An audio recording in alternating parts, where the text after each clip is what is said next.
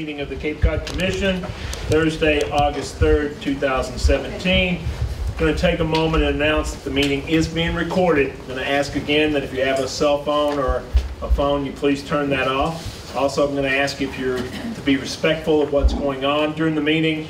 Please keep your conversations quiet and down. We have a full crowd here. Voices carry pretty quickly. If anybody needs a seat that doesn't have one, that needs to be seated, uh, please let us know. We'll find you a seat for that. And at this time, we're going to go ahead and start with the roll call of the commission. Barnstable, Ryan Richardson. Present. Bourne, Richard Conrad. Here. Brewster, Elizabeth Taylor, present. Chatham, Michael Skelly.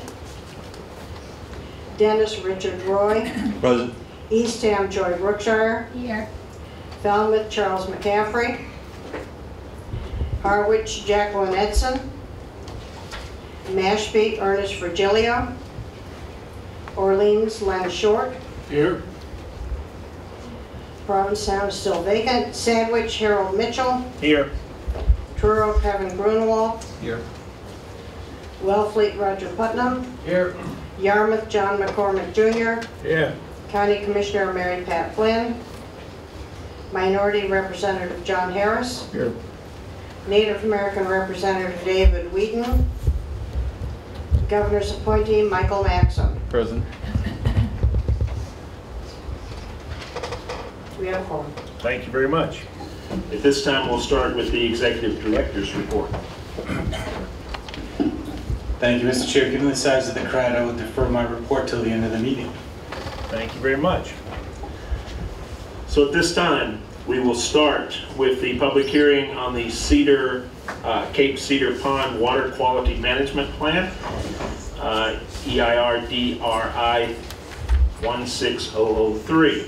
Cape Cod Commission will hold a public hearing on Thursday, August 3rd, 2017 at 3 o'clock in the First District Courthouse, Assembly of Delegates Chamber, 3195 Main Street, Barnstable, Mass. The following project is a mandatory development of regional impact DRI pursuant to sections 2D and I of the Cape Cod Commission's enabling regulations governing review of developments of regional impact, enabling regulations.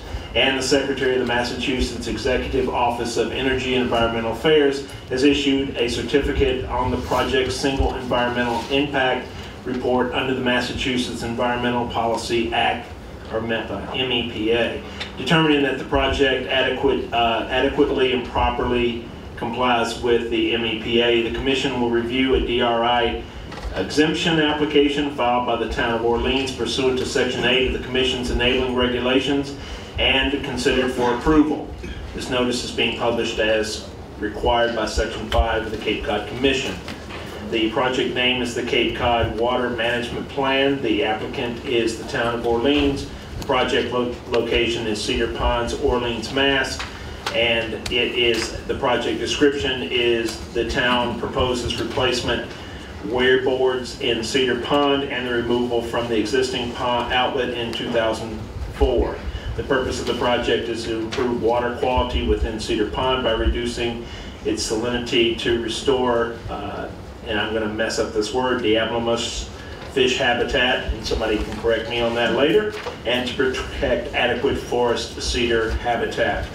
At this time, we'll start with the town's presentation on the project.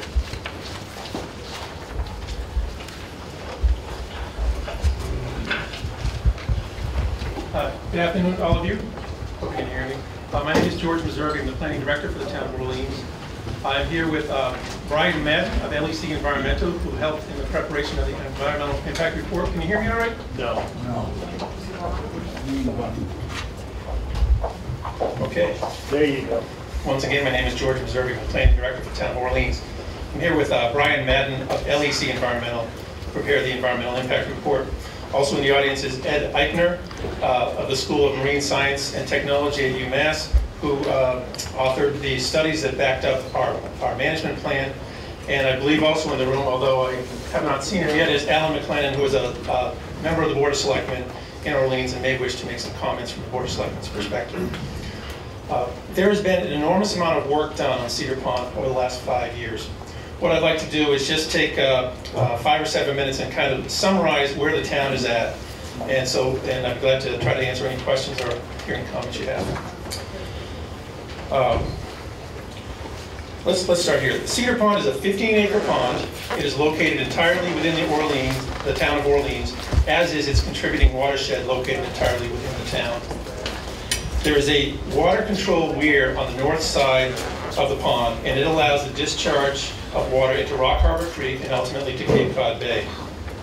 In its present condition, this weir allows astronomical tides and storm events to flush salt water into Cedar Pond. Now, uh, Cedar Pond, just uh, as a way of background, there have been a number of events that have impacted the pond over the, the course of human history. I'm just going to go through four of them quick. Uh, The first one is on the north side of the pond, a railroad bed was built in the 1800s. Uh, The shoreline on the other side, on the west end of the pond, between the pond and a adjacent cedar swamp, was bisected by the construction of Cedar Pond Road. Uh, This roadbed has since settled over time, and is no longer passable to vehicles. Uh, I think the commission is aware that there are electric transmission lines over Cedar Pond, and they allow for the roosting of cormorants, which have caused a uh, uh, pollution source to be over the pond. Uh, The town is working on that issue. Uh, Fourth and notable for this hearing is in the 1950s, a portion of the pond was filled for the construction of Route 6. At that time, a pipe was installed under the highway and the existing water control structure was put in place. There were flashboards there that maintain a water level. Those have since rotted away and were removed in 2004. The town of Orleans has completed all of the required studies and permits, accepting, accepting this one tonight, uh, to reinstall those flashboards in the water. The project is intended to reduce the salinity in the pond to a level that will support migratory fish habitat and protect the adjacent Atlantic white cedar swamp.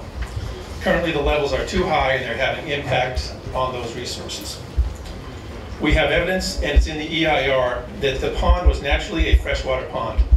As far back as 1837, there was a petition made to the Massachusetts legislature seeking approval to improve the Alewife passage to the pond.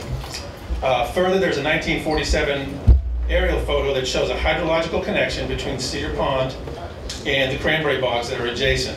Uh, Cranberry bogs, as we all know, require fresh water.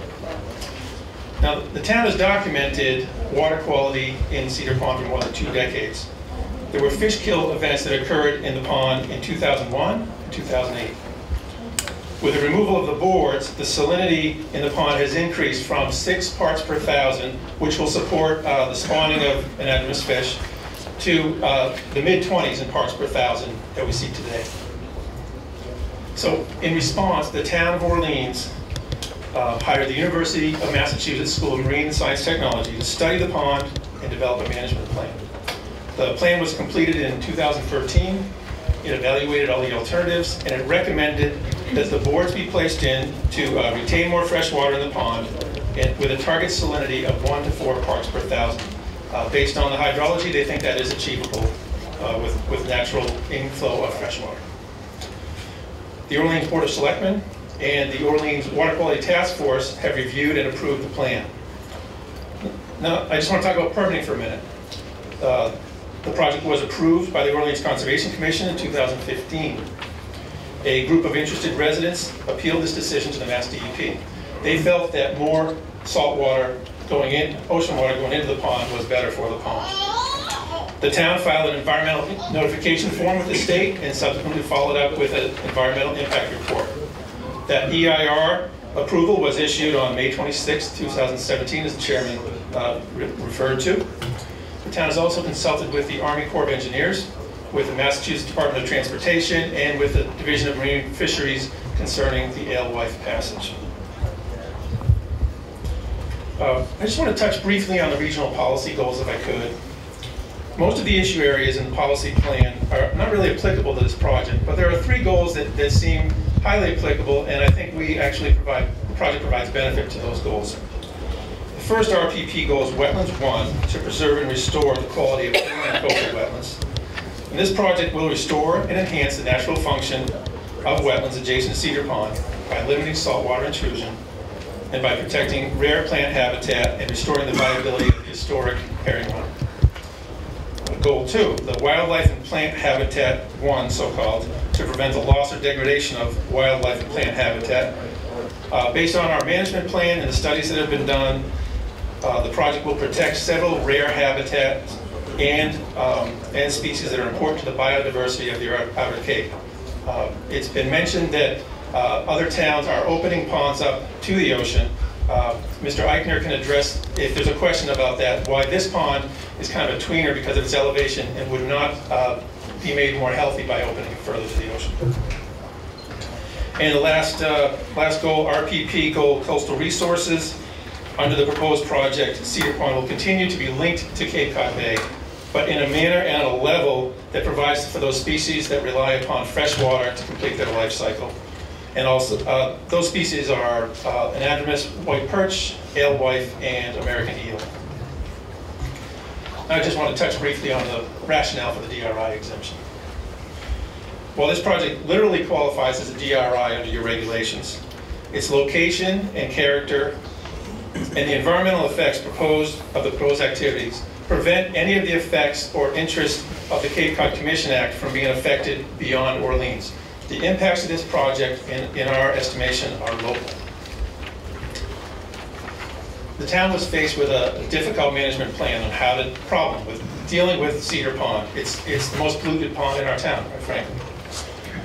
Uh, We hired experts to study the pond and advise the town on the best manage- management scenario. The permits have been sought and they've been issued. Uh, We can replace the boards and return this brackish pond to a condition which previously existed. The town is also committed and is under contract for continuous monitoring of this pond once those boards go in. If we see changes going forward, we can adapt the management plan as the water quality dictates. So uh, based on the, the depth and breadth of the studies completed to date, and the high level of review so far by local and state agencies, as well as our environmental consultants, uh, a full DRI review here is not likely to result in any new or different information. Uh, The Cape Cod Commission staff have also reviewed the project during the SEIR process, and they have uh, expressed their support of the project. The issues are understood well by the experts we brought to bear. So with that, the town of Orleans respectfully requests your consideration of a DRI exemption for the Cedar Pond Water Quality Management Plan. Be glad to answer any questions you have. We're going to do with the presentation, and we'll come back for questions later. Thank you very much. This time, we'll have commission staff comments on draft DRI exemption decision. John, I- Yeah, um, since this is coming from the town, I heard that Selectman McClellan may be here. I would uh, uh, defer my place in speaking to him if he wanted to present comments at this time, if he is here. Seeing none, I'll go forward. So I don't have a lot to add to what Mr. Meserve said, but I'll focus more on the uh, the jurisdictional and and regulatory issues. Uh, The project is not development in the sense that uh, most of the projects you see. It's really an activity that's proposed, reinstallation of weir boards uh, to an existing pond outlet that were removed in 2004.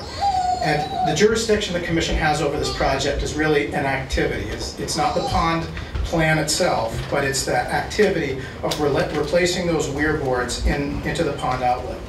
And of course, that activity is intended not to create impacts, but to address existing impacts and to provide an ecological benefit to, to the ecosystem. So another thing that's a little unique here is this activity, or the project itself, is mitigation. Generally, you see mitigation in the nature of um, an activity offered to offset or mitigate a development project. This project itself is, is mitigation. Um, I think it's also important to recognize that there's an adaptive management plan component to the overall Cedar Water Quality Management Plan. So again, if um, water quality is measured and there aren't improvements, uh, the town uh, will change course on the plan. But this seems a relatively good, low-cost way um, to, to uh, assess water quality and see if the town can't uh, undertake a relatively low-cost thing to improve water quality in this plan, especially because it has identified uh, a degradation in water quality impacts and the habitat since these boards were removed in 2004. Um, So I've prepared a uh, draft DRI exemption for your consideration. Uh, That is in your materials. It contains all the findings necessary and uh, actually a lot of what uh, Mr. Meserve offered today and is in the town's application uh, for your consideration. And that decision uh, has all the findings necessary for you to approve the project as a DRI exemption. Also, just like, like to point out that our water resources staff is here if you have any questions. And I figured that most of the questions um, you might have would be directed towards um, those water resources um, uh, goals and performance standards in the regional policy plan. With that, uh, I'd be happy to take any questions as they might arise. Thank you. This time, I'll open up the uh, floor for the commission's first round of questions. Yes, Roger? I think I read somewhere that, uh, that, uh, enter the, excuse me. I think I read somewhere that, uh, the power lines are going to be removed from across the lake. That, uh, this, and this would tend to remove some of the per- pollution problem that exists. Is that correct?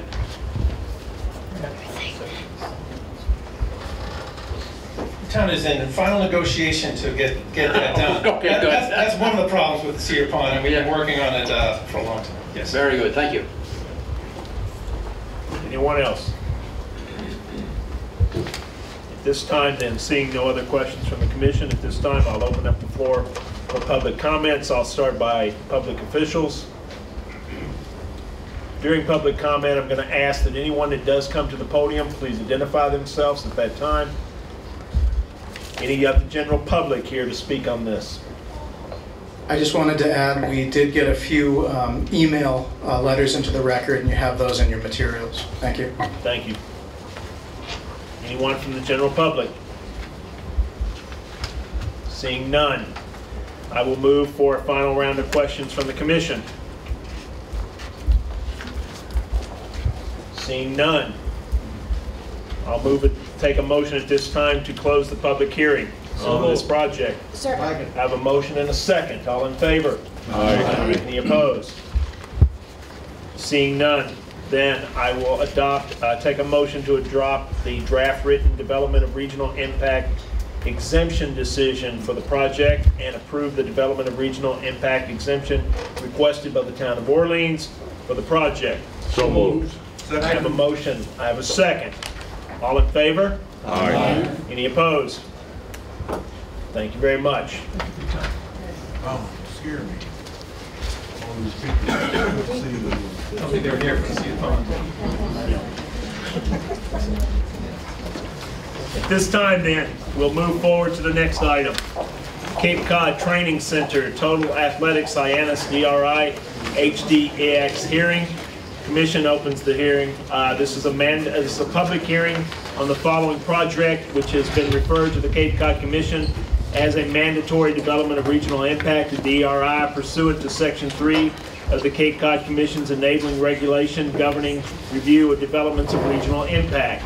Anyone wishing to testify orally will be welcome to do so. Written comments may be submitted at the hearing. This project is being reviewed and considered for DRI review approval, as well as a hardship exemption requested by the project applicant. At the hearing, the DRI, the Cape Cod Commission may consider adoption of a draft written development of regional impact hardship exemption decision for the project. The project name is the Cape Cod Training Center. The applicant is Total Athletics of Cape Cod, CCTC LLC. The location is 90, 110, and 130 Merchants Way and 20 Business Lane, Hyannis, Mass. The project description is a proposed construction of an appro uh, approximate 9, 91,000 885 two-story athletic field house containing an indoor ice rink, indoor turf field, indoor swimming pool, locker rooms, batting cages, fitness, training, and rehab areas, food and concessions, community meeting space, sports-related museum, accessory retail pro shop, office, child care areas, and together with a ancillary uh, site improvements like an outdoor playing field and approximately 8.29 acres of industrial zone undeveloped site. At this time, I'll ask for the applicants to make their presentation.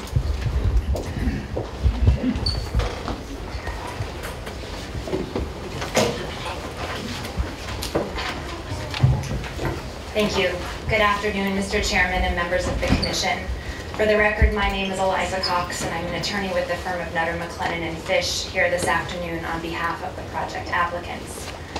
Um, Before I introduce the project principals who are here to say a few words um, during the presentation, and the development team who's here to answer any questions that you may have, I want to first thank uh, commission staff and John Idman in particular for their thoughtful review and comments and input and guidance during the course of this review. As a result of um, commission staff input, this project has changed, aspects of the project have changed, resulting in what I believe is a a better project um, with fewer land impacts and with physical changes that both benefit the community as well as the project.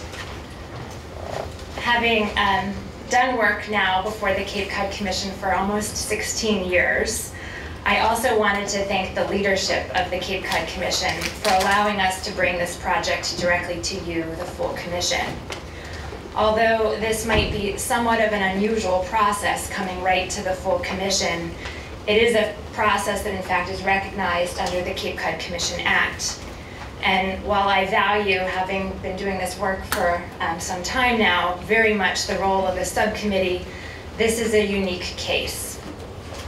First, as you saw, hopefully when you read the draft decision and reviewed the materials that have been submitted, the project complies with the vast majority of the regional policy plan's minimum performance standards. There is no disagreement between the applicant and commission staff on the technical design aspects of this project where a subcommittee's interpretation is so important. And in those few areas where the project um, doesn't meet the regional policy plan standards and where we are asking for hardship relief because compliance is not economically feasible or and that it would result in um, design changes to the function of the building, the decision as to whether or not to grant hardship relief is that of this body, the full commission. Secondly, we wanted to bring this project to you, um, the full commission, because the project is at a critical juncture in terms of a timing perspective. Construction for the project must start in September, next month, in order for the project to stay on schedule and be able to be opened for this use of the schools, primarily for their athletic season starting in September of 2018. There's a one-year period of construction for this project. Having the facilities open for the use of schools, and you'll hear about them today, in the fall of 2018 is vital to the financial viability of the project. In addition to there being a tremendous demand from the schools to use this facility and this project responding to that community need, the schools also represent a significant component of this project's business development plan. As such, even any delay, even a matter of weeks, impacts the ability of this project to proceed at all, which would be a tremendous loss to my clients and I suggest to the community. The sooner this project is built and constructed, the sooner that the community will realize the significant and numerous benefits that come along with this project. Um, anecdotally, I can't, I can't tell you how many times I've described this project to friends, colleagues, um, the Barnstable Planning Board, we were before them recently, and time and time again I hear people say, gosh, I wish this project was in existence when my kids were young people are really excited for this project because of the significant community need and the interest and, and demand for the facility. As such, um, my clients and I have worked really closely with commission staff and our development team has worked very closely with commission staff since filing this project with you in May and on the draft decision which we hope that you will support and approve this afternoon. I should also note that my clients have worked really closely with the town of Barnstable and been in close communication and are in close communication with the town who you will also hear from later this afternoon. Um, relative to the presentation, our plan is for me to introduce the principles of the project. They're going to describe why they're bringing this project to the community, and then I'll get up and, and walk through um, compliance with the regional policy plan and the draft decision. Um, our whole design team and consultant team is here today as well. Um, I'm not going to introduce them all, but if you have any questions, they are here. Looks like we're having technical difficulties. We'll get our technical expert on the job. Do you mind, Jeff?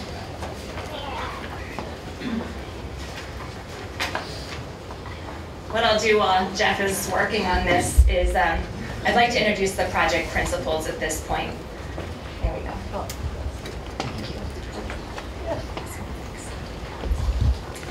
Um, For the football fans who are here in this room, you likely know of Coach uh, Mike Sherman, who was formerly the success, very successful division-winning head coach and general manager of the Green Bay Packers from 2000 to 2005. Coach Sherman has spent his entire professional career mentoring and coaching uh, high school students, college kids, and professional athletes, including after relocating with his family to the Cape in 2014, serving as the head coach for the Nauset High School football team.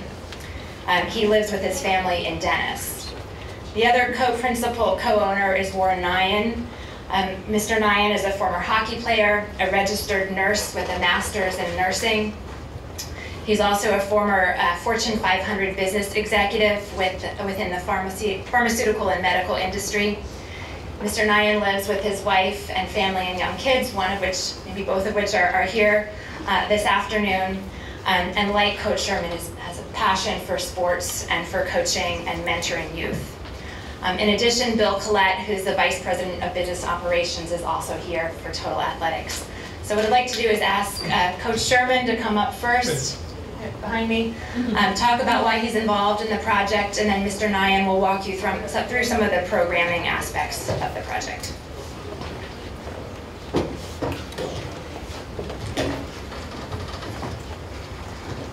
Thank you, Eliza. Uh, I can't say enough about the job that she has done uh, for us leading a football coach and a pharmaceutical executive to this point. Uh, uh, Without her guidance, we wouldn't be here at all. I promise you that. But uh, uh, thank you again. I want to particularly thank uh, uh, Executive Director uh, Paul Niedzwiecki and Chief Regulatory Officer John Idman and their staff at 3225 Main Street for getting us this point, the due diligence, the expediency, sense of urgency that they displayed when we asked for something uh, was uh, second to none. We really, really appreciate their efforts in getting us here as well. Also, I want to thank, uh, as Eliza did, uh, all you who traveled, all you board members who've traveled long distances from P-Town to Bourne, uh, the 15 towns on the Cape, and the 19 possible representatives here on a beautiful day like this on the Cape. Uh, I I take my hat off you being here today. Um, When I was asked to speak here today, usually I I bow to my business partner, Warren Knight. He's passionate, he does a great job of presenting, I always let him handle this part of it. But uh, uh, they asked me to speak about why I got involved in this project. And uh, my wife has asked me that many times as well, as of late, particularly when I'm coming home late at night and, uh, and missing uh, dinner, which she thought when I retired that these things would come back to a norma, normalcy. Um, I think that I, the best thing for me to do is to start uh, as a kid uh, on Cape Cod in the summers. We grew up, and I don't want to bore you with the details of my life, but I think it, it really speaks to why I feel a need to do this. And my business partner has similar interests as well. But we used to come, I lived in Boston uh, in a triple decker. My dad rented uh, one floor of the triple decker, and uh, he bought a he bought a cottage in South Chatham. That he actually built a cottage in South Chatham, a two bedroom. There were five kids, and I have memories of being in that station wagon in the station wagon in the back. One time, uh, missed traffic. Even back then, we had traffic. My, my, mother stopped the car and smacked each one of us in front of everybody waiting to get over the bridge. So that's one of my memories because we weren't behaving in, in, in, the, in the back of the car as we promised we would. But I remember being on Cape Cod and I, I caught my first fish. It was a flounder at Taylor's Pond. I had my first boat. It was a $600 Boston whaler. Um, I, the first time I kissed a girl was on Cape Cod. uh, I'm sure that's not very memorable to her, but I remember it was Julie, Julie Smith. And uh, I remember that, uh, although I doubt very much she does. I did shellfishing. I thought I was going to be a quahogger my whole life. I loved to shellfish back then. So I grew up with the Cape. Even though I wasn't, as a lot of you people are, natives of Cape Cod would come here every summer, and I was blessed to have the opportunity to be here. In some ways, the Cape is still the same, and I have to take the credit, give the credit to the Cape Cod Commission over the last 27 years who have been battling to keep the Cape as much the same as it possibly can. You know, you guys have done a great job of safeguarding us against uh, violating the, the cultural, the historical, the natural resources that we, that we face. Now, as a 62-year-old man um, here on Cape Cod, now here full-time, and during the time of my, uh, my career, I would bring my kids and my wife, my five kids and my wife here to Cape Cod to vacation. Uh, There was no voting. Uh, We were in Texas or Green Bay or Seattle or Houston. We were going to the Cape. And uh, even though there were times they wanted to go see the Grand Canyon, uh, it wasn't happen. We were going to go to the Cape. And so we've, we've had quite a history, and I, my kids have begun to appreciate over the years uh, the beauty of Cape Cod and what it's all about. But the question is, why did I get involved in this? Well, that has something to do with it. I get involved in it because in, in the last three years, I've had the opportunity, unluckily, of experience firsthand uh, an opiate overdose uh, by my godson, my nephew. When I came back after I was done at Miami Dolphins, came back here, I uh, went out to lunch with my my godson. Hadn't seen him in a long time, and uh, a month later, uh, he, he's dead. He's an aspiring lawyer, and as we all know, we've all been touched by this opiate epidemic that's prevalent here, not just on Cape Cod, not just in Massachusetts, but across the country. But we feel it pretty strongly here on Cape Cod because we have tight-knit communities. It reverberates through. Well, that made a difference with me. Then I also have a teenage daughter, and I also was coaching the team, the football team at Nauset Regional High School. And I realized as the kids would leave at the end of practice, and my daughter would leave at the end of a, uh, an afternoon and go out, and I'd say, make good choices, make good choices. And I realized that we don't have healthy alternatives in many ways for our kids to make good choices. And really and truly, the reason why this project is so important to me uh, is I want to have alternatives for our kids to experience a better way of life. When the beaches close and the businesses lock up, there's not a whole lot to do here uh, from September to May. It's absolutely gorgeous the rest of the year, but that's not a lot of time for these kids who are on Cape Cod. And this facility, yeah, we will hopefully attract people during the summer, but this is being built for kids, families, seniors, adults on Cape Cod, for Cape Cod. Our motto is to keep them on the Cape and get those off the Cape on the Cape. And so that's pretty much what we've attempted to do with the programming and, and our agenda. But I can't say enough how important this is to be able to address some of the issues. Here in Massachusetts, we have four people, four, pe four people today will die of an overdose. In America, 90 people will die today of an overdose. Cape Cod is not, even though it's beautiful and it's protected, its environment, our kids are more important right now than piping plovers and sharks and whales. And we have to give our kids a place to go. So that's the motivation, that's the reason why. And I want you to know this, it's not just an athletic facility. It's not just uh, elite athletes. Yes, we will train elite athletes, I've trained them my entire life. But Personally, they're paying the buck, I'll be honest with you. But I enjoy being with them. We're gonna, we're gonna train the kid that just wants to make the high school team. We're gonna train the kid that wants to run cross country or run track and, and just be a part of something bigger than him or herself. But it's not just football, basketball, baseball, lacrosse, field hockey, soccer that we're gonna deal with.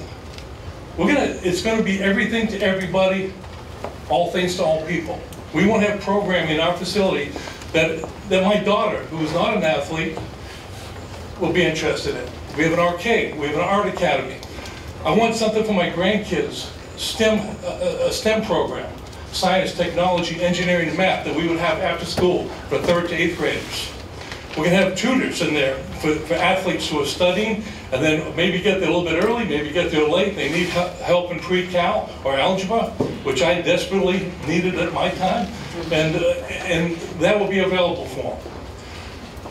In September, we're gonna send out notices to our, the entire Cape and try to get from people what type of programming they want in our facility. Yes, we're gonna have elite hockey teams. Yes, we're gonna have, uh, field hockey that's elite. But at the same time, I want every kid to feel comfortable that is a safe haven in our facility that they can come to and be a kid and grow up and have choices.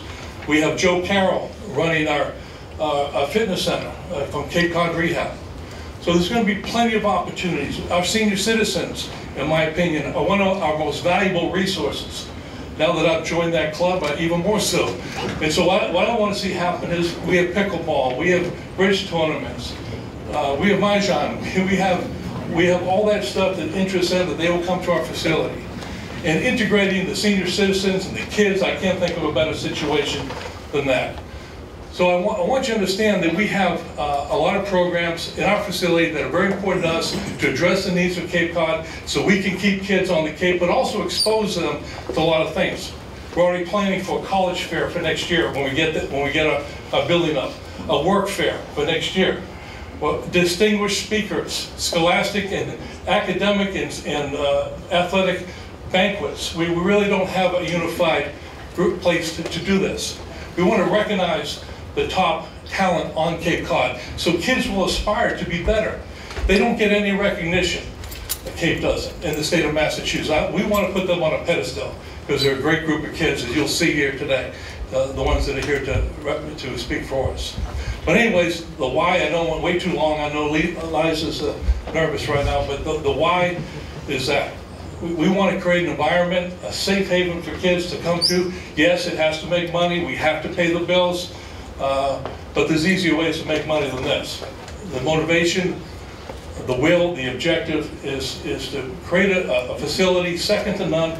There's not one in, uh, uh, in Massachusetts, New England, or the East that I know of that services the kids the way we plan to service the kids. Both myself and my business partner will be in the building every day.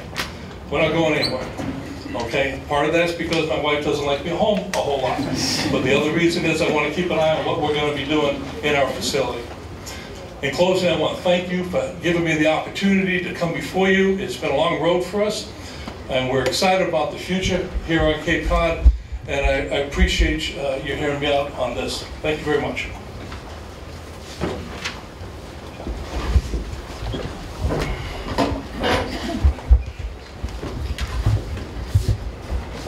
Well, thank you, Coach. Um, My name is Warren Nyan. I'm Mike Sherman's business partner. And uh, just like Mike, I did want to thank the commission for everything they have done, Paul specifically, and Mr. Idman. Thank you very much for a lot of the questions, phone calls, and us, you know, streamlining us to help us get to where hopefully we're, will we be at the end of the day. And thank you for a lot of the people that did show up as well. Um, I appreciate all the supporters for everything. As Mike went over his presentation to talk to you about, one of the big things that we wanted to be able to show was why we were building this. Why, one, why did a healthcare executive and a football coach get together? And a, a lot of it had to do with what Mike was talking about. But the big thing is that when we sat to build any business, and I've been part of businesses that have spun off, um, the largest healthcare spin-off, a company called Covidien. I grew that company um, with actually a couple of people that are sitting here as well, from an $800 million company to a $10.2 billion company to the largest healthcare spinoff where I ended up as one of their presidents. But a lot of that, to make those things work, had to do what our mission uh, was, had to do what our values were, had to do exactly what you see on that screen. Taking this, building a business, goes just like that. Now we know our business can be successful. And now I just want to walk you through why I think that is going to be successful. When you start looking at what we're doing, Mike talked about the alternative to the drug crisis. I spent a considerable amount of time through my nursing dealing with childhood obesity. Dealing with childhood obesity specifically in the medical device side, the pharmaceutical side, for kids, the lap band surgeries, a lot that were made, a lot of the products that were made actually for that surgery. Actually, I got approved through the regulatory board, um, actually with some of the other people that are sitting here as well. But the idea had to do with what we start looking at. When you look at your vision, you look at your values, and you start looking what's around here, why are we going to build this? We start looking at the size of the people, you know, the jobs that we can create.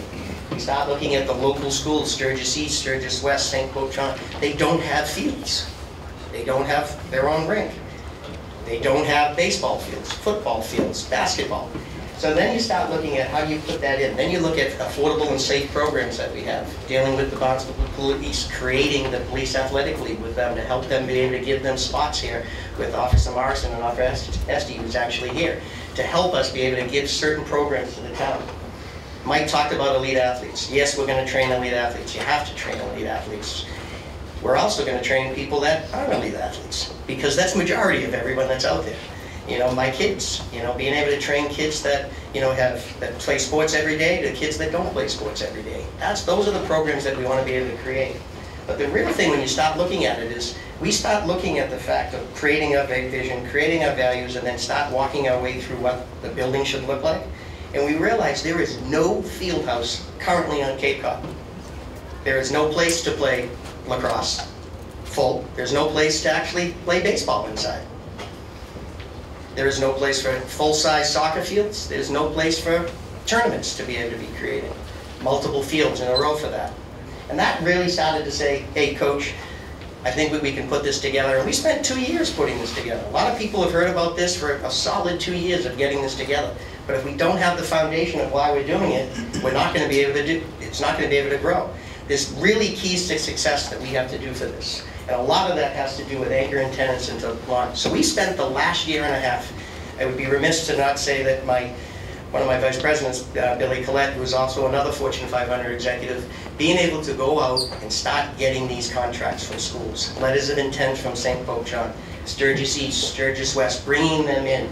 Being able to have Cape Cod Field Hockey be able to come on. Mike and I being able to purchase all the youth hockey teams that are the travel teams.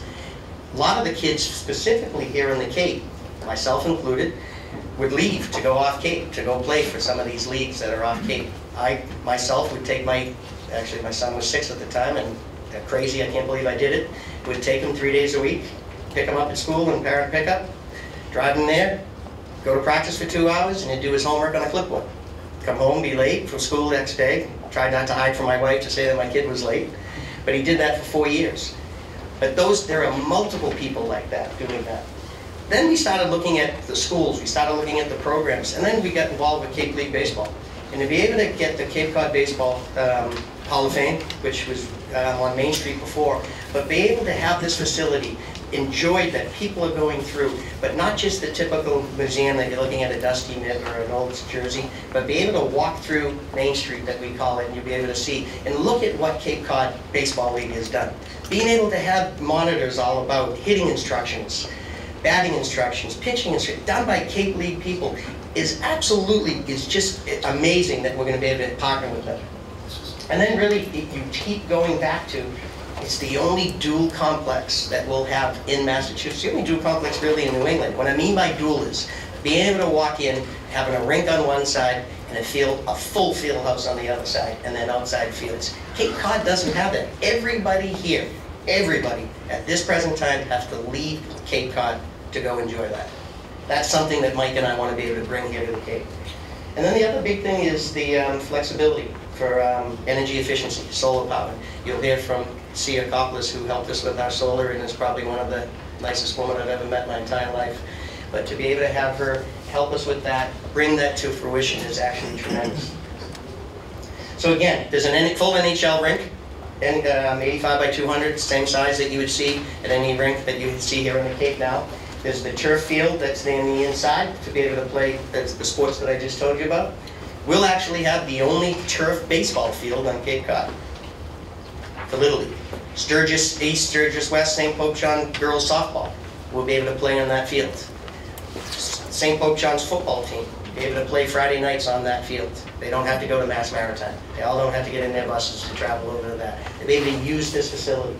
And then you really, we walk through, you know, when, on the opening of the chair read of what we have, but having Joe Carroll and Cape Cod Rehab in there, not only do we able to, to have the athletes that will be able to train, elite or non-elite, now you have to be able to rehab these athletes at the same time. You'll be able to rehab non-athletes. And that's one of the most important things that we have right now. And a partnership with Joe and what he's done for Cape Cod and his three businesses already is tremendous. And then you got certain areas that, you know, our food courts, our outside walls, our batting cages. Yeah, batting cages. I mean, as simple as that may sound, we'll have virtual batting cages, just like you see the golf simulators. To go to batting cages on Cape Cod right now, you know, they're the same ones that I used as a kid on 28, right over by Skull Island. To be able to have another spot that you actually go in that you could hit in Fenway Park, you could hit in Wrigley Field, you create actual tournaments against other people. It's one of the greatest little things that we're gonna be able to offer, not just to athletes, to tourism people that actually come in. And that's something that's even tremendous. Again, the needs, why, why, we keep talking, Mike and I kept talking about the vision, the mission, why we wanna do this, and then the needs just keep coming back to us. Private coaches, sports world is changing. Years ago, everyone was playing multiple sports and kids were running and parents would kick you outside and go out. That's all we did. Sports are changing. Parents are crazy about it, you know, that are in here, hockey players specifically. But they, the idea of, you know, just playing one sport, that's what most of these kids do right now. That's something that, one, we gotta get away from, and we're gonna hopefully be able to pro- provide a multitude of different things to do it. But that's what they're looking for, private coaches, private trainers, one-on-one training. They're leaving the Cape for all that youth and adult leagues looking, you know, for more ice time. You know, I we've already signed you know, 60 and over uh, men's leagues, 50 and over men's leagues to letters of intent, just for ice hockey. The 60 and over league have 200 people on their list that they send out to every day to see who's playing in their game. It's unbelievable, you know, and then again, just access to fields, indoor and outdoor. Some of the needs then, again, the significant growth in ice hockey participants on the Cape, and you saw it in the application. It is crazy. Massachusetts is one of the big, Massachusetts, Minnesota, Michigan, always the big three when it comes to hockey participants. Massachusetts actually has increased over 10%. Registered players, USA hockey players have, read, have increased 10%. Majority of that 10%, when you look into Massachusetts, 2.5% of that comes from Cape Cod. It's the amount of people that are playing. The crazy thing about it, when you look at it, you're able to look at USA Hockey registrations and you see where they play. It was, I counted up and we added up, there's over $500,000 in tuitions alone for people that go off Cape. I was teaching skills two years ago in Bridgewater Ice Rink. And I was out on the ice and there were 23 kids on the ice, eight-year-olds, nine-year-olds and 10-year-olds. 18 of them were from Cape Cod. The next group that came on was being run, older kids. 15 of them were being, uh, were from Cape Cod, coached by another person from Barnstable. And a lot of that had to do with the leagues, the program. So Coach and I, about six months ago, we talked about purchasing our teams. That same league that everyone travels over to to go off Cape, the 500,000 that we lost, Coach and I were able to bring that league to Cape Cod, and that's the Boston Hockey League. So the Boston Hockey League will be here on Cape Cod next year, starting in uh, September. We actually already started our practices and our camps kicked off this week. Something that's great. I mean, 400 Cape Cod residents travel to Plymouth, that's the closest dome to go play for lacrosse. That's where they're playing. Yarmouth Skating Club, one of the biggest skating clubs they have, looking at the national championship for some of the things they're doing, they're in Kingston. Look at the name. It says the Yarmouth Skating Club. They skate in Kingston, Mass. You know, those are the, some of the reasons why we're doing this. And again, and I'll end with that comment, it's simply there is no field house on Cape Cod, none, for the size to be able to have a full league and be able to enjoy that. Just to kind of ground you where we are, the star on the map, eight and a half acres that Coach and I, I have, we have leased that through, for a 75-year lease through uh, Mr. LaRusso and Cape Cod Aggregates. They have been, I'd be remiss not to say thank you to them. They have been tremendous to us. But that's the eight and a half acres where we will be. That's right in- inside Kidds Hill Road, Independence Park, and right behind Thornton Drive. So my backyard will actually be Thornton Drive, that entire road right there. That's the, uh, the bird's eye view, that's, that's what we look like. That's our facility. That facility is actually to scale, and what I mean by that is, we were, we spent another solid six months going through the FAA to get our height variances through, because we, were, um, which we passed with all our lights, all our buildings, there was no issues whatsoever. But we wanted to be able to show our building in relation to the trees, in relation to Thornton Drive behind us, and to the top where Shepley is on the side. As you can see, the left side is our hockey rink. There's our building plan, I'm sorry, there's our building plan, uh, I missed the slide. Our building plan is through here. So there's the eight and a half acres that you saw right in through the back there. There's the building right there, there's the flow print on it, that's the field, parking that goes up and around it. There's a significant amount of earthwork that we will be using and a significant amount of um, landscape plans that will go around it that just make this place absolutely stunning, to be honest, for a facility.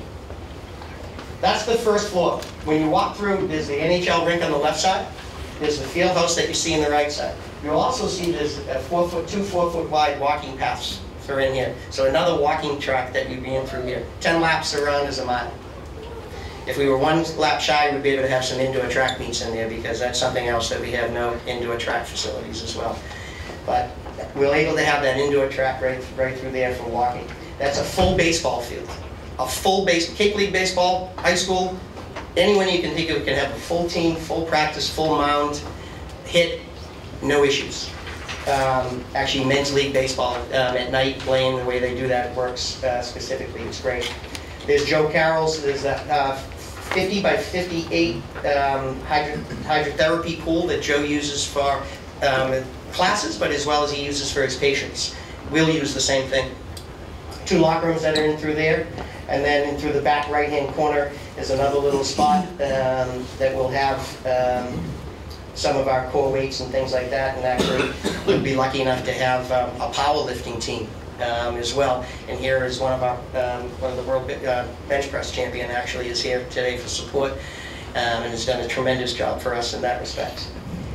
And then you have Main Street that you go right up through Main Street. And we say that by Main Street, and you'll see, if you saw the plans and you walk through, it's not just the rubber hallway with cement blocks walking through. You actually think you're walking through Main Street in Hyannis or any Main Street in Chatham or wherever you go. Shingle buildings, walk, big beautiful um, inlays that are in there with Cape League. That's where you're gonna walk through and walk through, hey, I'm, I'm at the Cape League Baseball Hall of Fame at the same time. And you're gonna walk up a 330 foot um, Main Street that has childcare. First facility in this area, first facility for miles from this area over the bridge, that you're actually gonna be able to have a mom and dad come in, drop their child off in childcare, either go work out, watch their son or daughter play, be able to go up in the fitness center on the second stairs to go work out, go downstairs, eat afterwards, let their kids play in the arcade, and then study or leave. It gives everything that Mike wants to do, what our missions are, is here in this place for them. You keep walking through, we have, the, you know, the, your pro shop, you have the arcade room, you have the full-service restaurant, the community room, the batting cages in the back. Everything that you could possibly think of that a family would be able to have to stay is what we have, and that's what we're trying to keep. Second floor is just Cape Cod Rehab's outside, that's where Cape Cod Rehab will be, that's where their patients will be seen, and that's where some of the rehab will be done. There's a couple offices, and then you walk over to the other space. On the other side, the yellow that you see on there, that's um, our Phase B, that's our plan to, you know, as we go through of what we're gonna put in through there. Um, We do know that we do have, so one of the other things that Coach and I were able to do is uh, bring in a junior hockey team, 18-year-olds to 21-year-olds. Our goal is to get them into college. There's a league called the Eastern Hockey League that a lot of people said, hey, you won't get that league on the Cape, you won't get, everyone leaves to go play in that league, and we actually, with, lucky with some of the people we have here, got that league on the Cape. And my coach, uh, that, uh, Coach uh, Zanaboni, that we just moved from Wisconsin, is here as well, and he just got to the Cape, which is great. So he's been here for about a month, just bought a house in the Cape, and I have 20, like Cape League Baseball, I have 25 18 to 20-year-olds that will be billeted and uh, arrive here August 20th, hoping to put 10 to 20 kid, you know, 10 to 15 kids a year into college. We actually already have kids that are getting looked at right now before the season's already started, so that's a great thing for Cape Cod as well. That's where their locker room would be, that's why I bring that up. I do want to thank you. I wanted to be able to, I know I spent a little time like Mike to be able to show you some of the programs that we're doing, but it was important for us to be able to really let the commission, as well as the people here, why Coach and I are doing this. What the values are, why we're doing that, what it is to me, the personal side of it, what it is to Mike, the personal side of it. And it's not just, you know, the business plan. The business plan works. The business plan has to work or we wouldn't be able to give the kids that we need. So having Mike, you know, myself running business my entire life, having someone like Mike, to be honest with you, you can say Green Bay and you can say his coaching. The idea of the business that comes out of that is second to none any CEO that I've seen.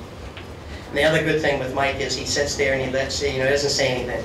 He lets Billy and I and everyone that come in just talk about Tom Brady and the Patriots like it's second to none. And we know we love Tom Brady, love Tom Brady. I don't care. He just sits there and smiles because he's Brett Favre guy and doesn't say anything. but the other day it was great because he writes up something to us that says, Steve Spurrier, 2 and 0. Mike Holmgren, he beat, he's 3 and 0 against them. Um, Wannstedt was one and oh. Um, Belichick, one and oh. You know, she goes, you can talk about Bill all you want, but I beat him. And then he leaves and says so. There's really nothing I can say about the Patriots when he does that. Although he did say he was 0-4 against Joe Jamil from Dennis Yarmouth. so we'll be able to bring that up. So thank you very much. I appreciate having the ability to speak to you. Uh, if there are any questions, I appreciate getting those afterwards, but thank you very much, um, Paul, thank you very much, John and Commission, and thank you very much for the people showing up.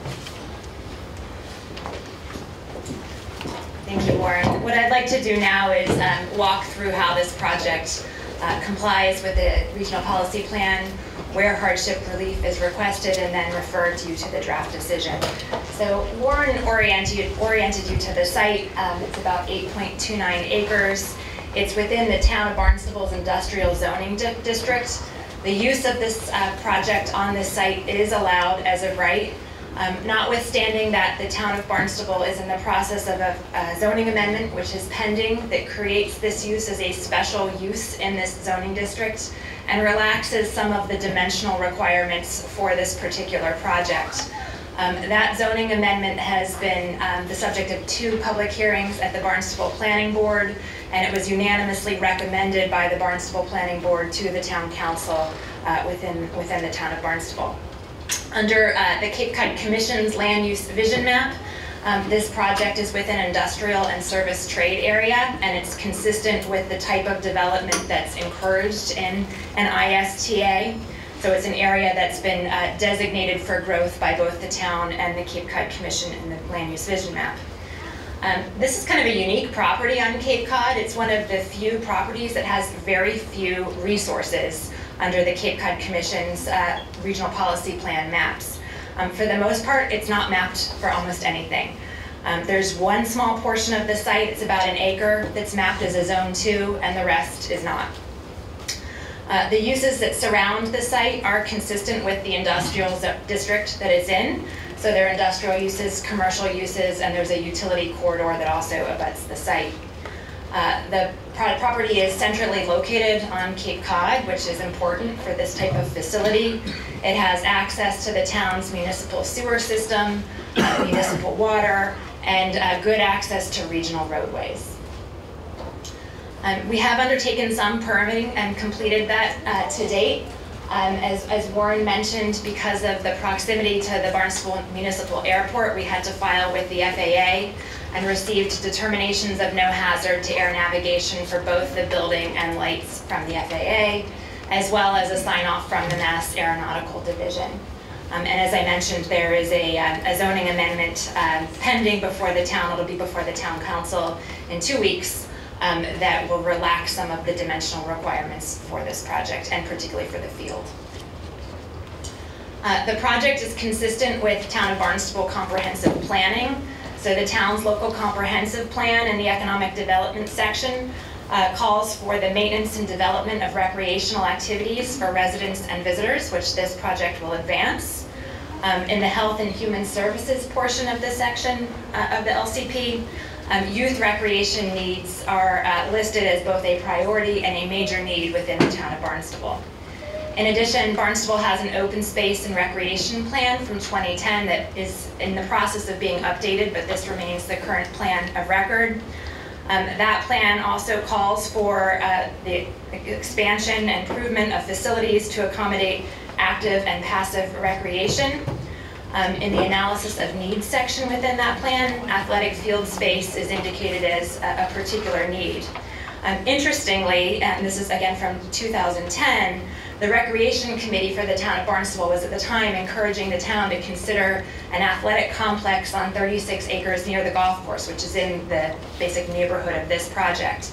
That's no longer for other reasons being contemplated, but the town was thinking of this type of facility in this vicinity. In addition, um, the Hyannis Youth and Community Center is something that the town I know is very proud of. It's a wonderful facility. And this, uh, this project looks forward to find ways continue to collaborate with the Youth and Community Center. One of the things that the Youth and Community Center does very well is bring hockey tournaments to the town of Barnstable, which is a real economic driver for the town. Many of the hockey tournaments, ice hockey tournaments, require three sheets of ice within close proximity, something that doesn't exist right now. But once this facility, facility is constructed, we will have three sheets of ice within close proximity that will allow additional and larger tournaments to come to the town to fill hotel rooms, eat in the restaurants, bring rooms tax revenue, meals tax revenue uh, to the town of Barnstable. So we have applied, and I will go through it um, briefly in a moment, but we have applied for a hardship exemption from certain of the minimum performance standards. I'm going to quickly go after this slide through the various issue areas, and I will highlight where uh, relief is re requested from certain of the standards. But I wanted to talk generally about the rationale and the basis for granting the hardship relief. The first is, and, and you heard it already, I suspect you'll hear it more when the public comments on it, so I'll, I'll be relatively brief, but there's a significant public need for this project, and it will result in significant benefits. As uh, the prior slide indicated, the town's comprehensive planning has identified this type of facility as a major need within the town of Barnstable. Um, there is correspondence in your files from schools who have either uh, showed interest or submitted letters of support in coming to this facility. Um, there is a lack of facility for clubs. Warren walked through many of the clubs that want to make this their home, but currently don't have access to these facilities and have to go off Cape. Um, in addition, uh, interestingly, and I think you'll hear from them, and there's also a letter in the file, uh, the Cape Cod Chamber has weighed in on in support of this project. Um, prior to this project being commissioned, the Cape Cod being proposed, the Cape Cod Chamber of Commerce commissioned two studies the first one was to evaluate what type of, types of uses would be economically beneficial to the town, to the town in this region, um, and were missing. And that study suggested that a sports venue would be a, good use to fill hotel rooms and bring revenue to the region.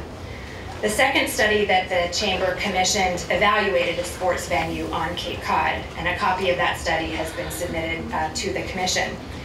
That study indicated, and I quote, to be successful, the business model of any Cape Cod facility, whether developed as a public facility or by a private developer, will need to feature a diverse product service mix focused on the ability to serve sports and recreation needs of the local community and the ability to attract and retain regional sports events. By creating this flexible business model, the complex can become a hub of activity for the local area and region, providing a family experience that promotes competition, involvement, entertainment, and participation. This facility will do all of that, and in fact, many of the recommendations as to how the, a sports venue would be successful by being um, flexible, having different programs, have all been incorporated into the business model of this project. Um, also in support of the hardship relief, this is, and there being uh, no substantial de detriment or derogation, this is the right location for this type of facility. It's centrally located with access to infrastructure, as I've mentioned. The zoning is correct. It's in an area that the land use vision map, map has designated for growth and particularly growth of this kind. There are very few mapped resources on the site and it's proximate to supporting commercial uses and the Youth and Community Center. And finally, compliance with several of the minimum performance standards, which I'll, I'll cite to in a moment, um, result in either a financial hardship or an operational design hardship to this project. This is an approximately $12 million project. We've submitted a pro forma for it. My clients are contributing over $2 million of their own money into this project. And they're financing over $10 million and have received a commitment for that financing. Their yearly debt service is over $824,000 for a period of 25 years. They will realize a return, but it is not significant. In the first year, it's basically a break even. The first full year, uh, it's about $60,000. So it's not a, a major moneymaker for them. The pro forma indicates that it's a viable project, um, but it's not one that can accommodate and absorb the cost of full compliance with the regional policy plan, certain of the minimum performance standards. And one of the things that I would like to add as well is that um, this project is precisely the type of project and the type of developers that the regional policy plan incentivizes. These are local residents, local businessmen who are willing and wanting to invest their own capital into this project in a project that's going to have community benefits. the cost of full compliance with the regional policy plan would render this project financially unviable and not financeable. So pointing to the various issue areas of the regional policy plan, for land use and economic development, the project fully complies with all of the regional policy plan requirements. It's appropriate site, appropriately sited, it's a compact design, even though it uses the whole site. It's a multi-story building. Um, both the fields and the field house can be used for different purposes. And there's a pedestrian-friendly design, and I'll show you a sidewalk plan that is also proposed in just a moment. In the area of natural resources and open space, first natural resources, the project fully complies with the regional policy plan. Um, a natural resources inventory was prepared and submitted uh, by the project. It was done by Horsley Witten Group in Sandwich. It indicates that a majority of the site is not a significant natural resources, with the exception of about one acre where um, the building, where portions of the field are located, but not the building. There are no wetlands on the site. There's no MESA mapping on the site. There are no specimen trees or unique vegetation on the site. Um, it does not abut protected land, rather it abuts um, heavy commercial and industrial uses. Open space and recreation is one of the areas where hardship relief is being requested. Here, a literal enforcement of the regional policy plan would require about nine acres of open space to be uh, dedicated. There is no ability to uh, restrict those acres on site. This project, although designed compactly, will require using the entire uh, 8.29 acre site. And that's a cost, so the regional policy plan says if you don't do it on site, you have the option of, of paying for that open space, which in the town of Barnstable, under the RPP's calculation, would result in a payment somewhere between 1 million to $2 million. This is not a cost that the project can absorb. However, there's no substantial detriment or derogation in granting relief from this requirement. Given where this project is located in an industrial zone in an area that has been mapped for large-scale development as an ISTA, um, this is an appropriate use of this land. In addition, the land isn't mapped for any significant resources except for approximately one acre of Zone 2, which is where a portion of the field is located, and the project complies with all of the commission's water resource standards. So it meets all of the standards of the one resource where it's partially mapped. In addition, um, the regional policy plan, the heading of that issue area is open space and recreation. And while there's no minimum performance standards under the concept of recreation, there are two goals of that section of the RPP which encourage recreation for, for the public. And this project obviously furthers the goal of providing recreational ac activities and opportunities to the community. Water resources. Um, again, the project complies with all of the minimum performance standards uh, under the water resources section. I've um, included on this graphic uh, a copy of the Commission's RPP map um, showing the small portion, properties in red, this small portion is where the Zone 2 is located. The project is connected to town sewer. The nitrogen load will only be about two parts per million. The building, as I mentioned, is outside of the Zone 2. Only a portion of the field is in the Zone 2. Um, the field is a turf field, so there's no fertilization that's required, no chemicals that are required, there's no rubber associated with this type of field, so it is protective of the resource in which it's partially located. In addition, uh, the stormwater uh, management that's proposed has bio, bio retention, bioinfiltration, and meets the TSS re requirements, TSS removal requirements of the RPP. Waste management, the project fully complies with this issue area. Um, there's a construction waste management uh, protocol that's been submitted. It's conditioned as part of the draft decision. Um, the applicants have volunteered to use environmentally friendly materials and practices. Um, this, the pool that's in, proposed is a saltwater pool, so it won't require chlorine chemicals. Um, the ice rink uses Freon rather than ammonia, which is more uh, protective of the environment. And so it meets all of the requirements of the RPP in this issue area. Affordable housing is an area where hardship relief has been requested as to form, but not as to the substance or the goal of that issue area. So for commercial projects, as you know, um, the RPP uh, typically requires a cash contribution, but there is another minimum performance standard, AH 3.4, which is partially quoted, that provides in lieu of a cash contribution commercial projects um, that uh, provide affordable housing units on or off-site that total 10% of the projected employees that learn, earn less than the average wage will comply with the regional policy plan. Um, By reference to another section, it requires that those units be deed restricted. Here, that 10% requirement amounts to about two to five units for this project.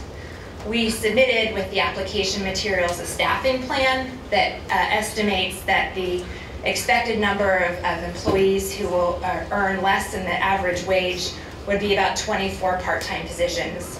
These include coaches, pro shop employees, referees and scorekeepers, and gym staff.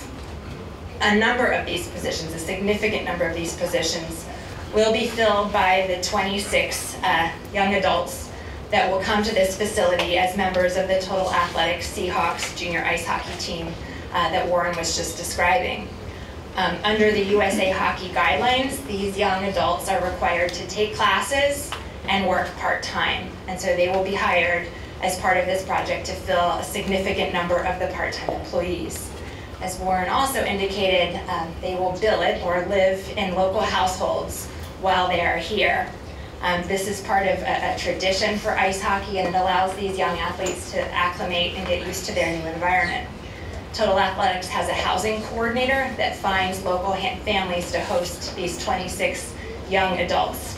They're typically here from, um, from August until April unless they're taking classes and they finish through the school year. Um, And they will work part-time uh, at the facility while they're here. In the summer season, when those hockey players are less likely to be on the Cape, uh, Total Athletics will be working with the Cape Cod Baseball League to also bring some of the summer baseball players that are here to come fill these part-time positions, as well as college kids, retirees, and others. This hiring model has worked really well for other similar facilities across the country, and it's inspe- expected to work well here. It's consistent with the goal of the regional policy plan of hiring people and finding places for them to live. And the number of, of people that will be housed and working in the part-time positions will significantly exceed that 10% required by the RPP. Energy, um, the project meets and exceeds these requirements. The RPP requires that, um, one way of meeting all of the energy requirements is that 25% of the electricity demand be met through on-site renewable. Here, uh, solar is proposed on the roof of the facility that's expected to generate between 33 and 49% of the uh, estimated electricity consumption of the facility. So we'll meet and exceed that requirement of the RPP. In addition, um, building materials are proposed that exceed uh, local energy, state, and international energy codes, and all of the lighting is LED. Two more. Uh, Transportation is an area where we are requesting partial hardship relief. Um, First and foremost, which I know is always the concern of the commission, the project meets all of the safety requirements of the regional policy plan. And safety improvements are proposed at the intersections uh, that are listed on the slide within the study area. In addition, the project fully complies with the 25% TDM requirements. Finding TF12 of the draft decision goes through with a very robust TDM plan. The project meets all of the study area congestion requirements of the RPP um, by proposing to construct a sidewalk, and I'll show you a graphic of that in just a moment, uh, that comes from the project site down Merchants Way, across Kid- Kidds Hill Road, and connects to an existing sidewalk along Wilkins Lane, which is owned by Cape Cod Hospital. Outside of the study area, we are seeking uh, relief from the congestion requirements.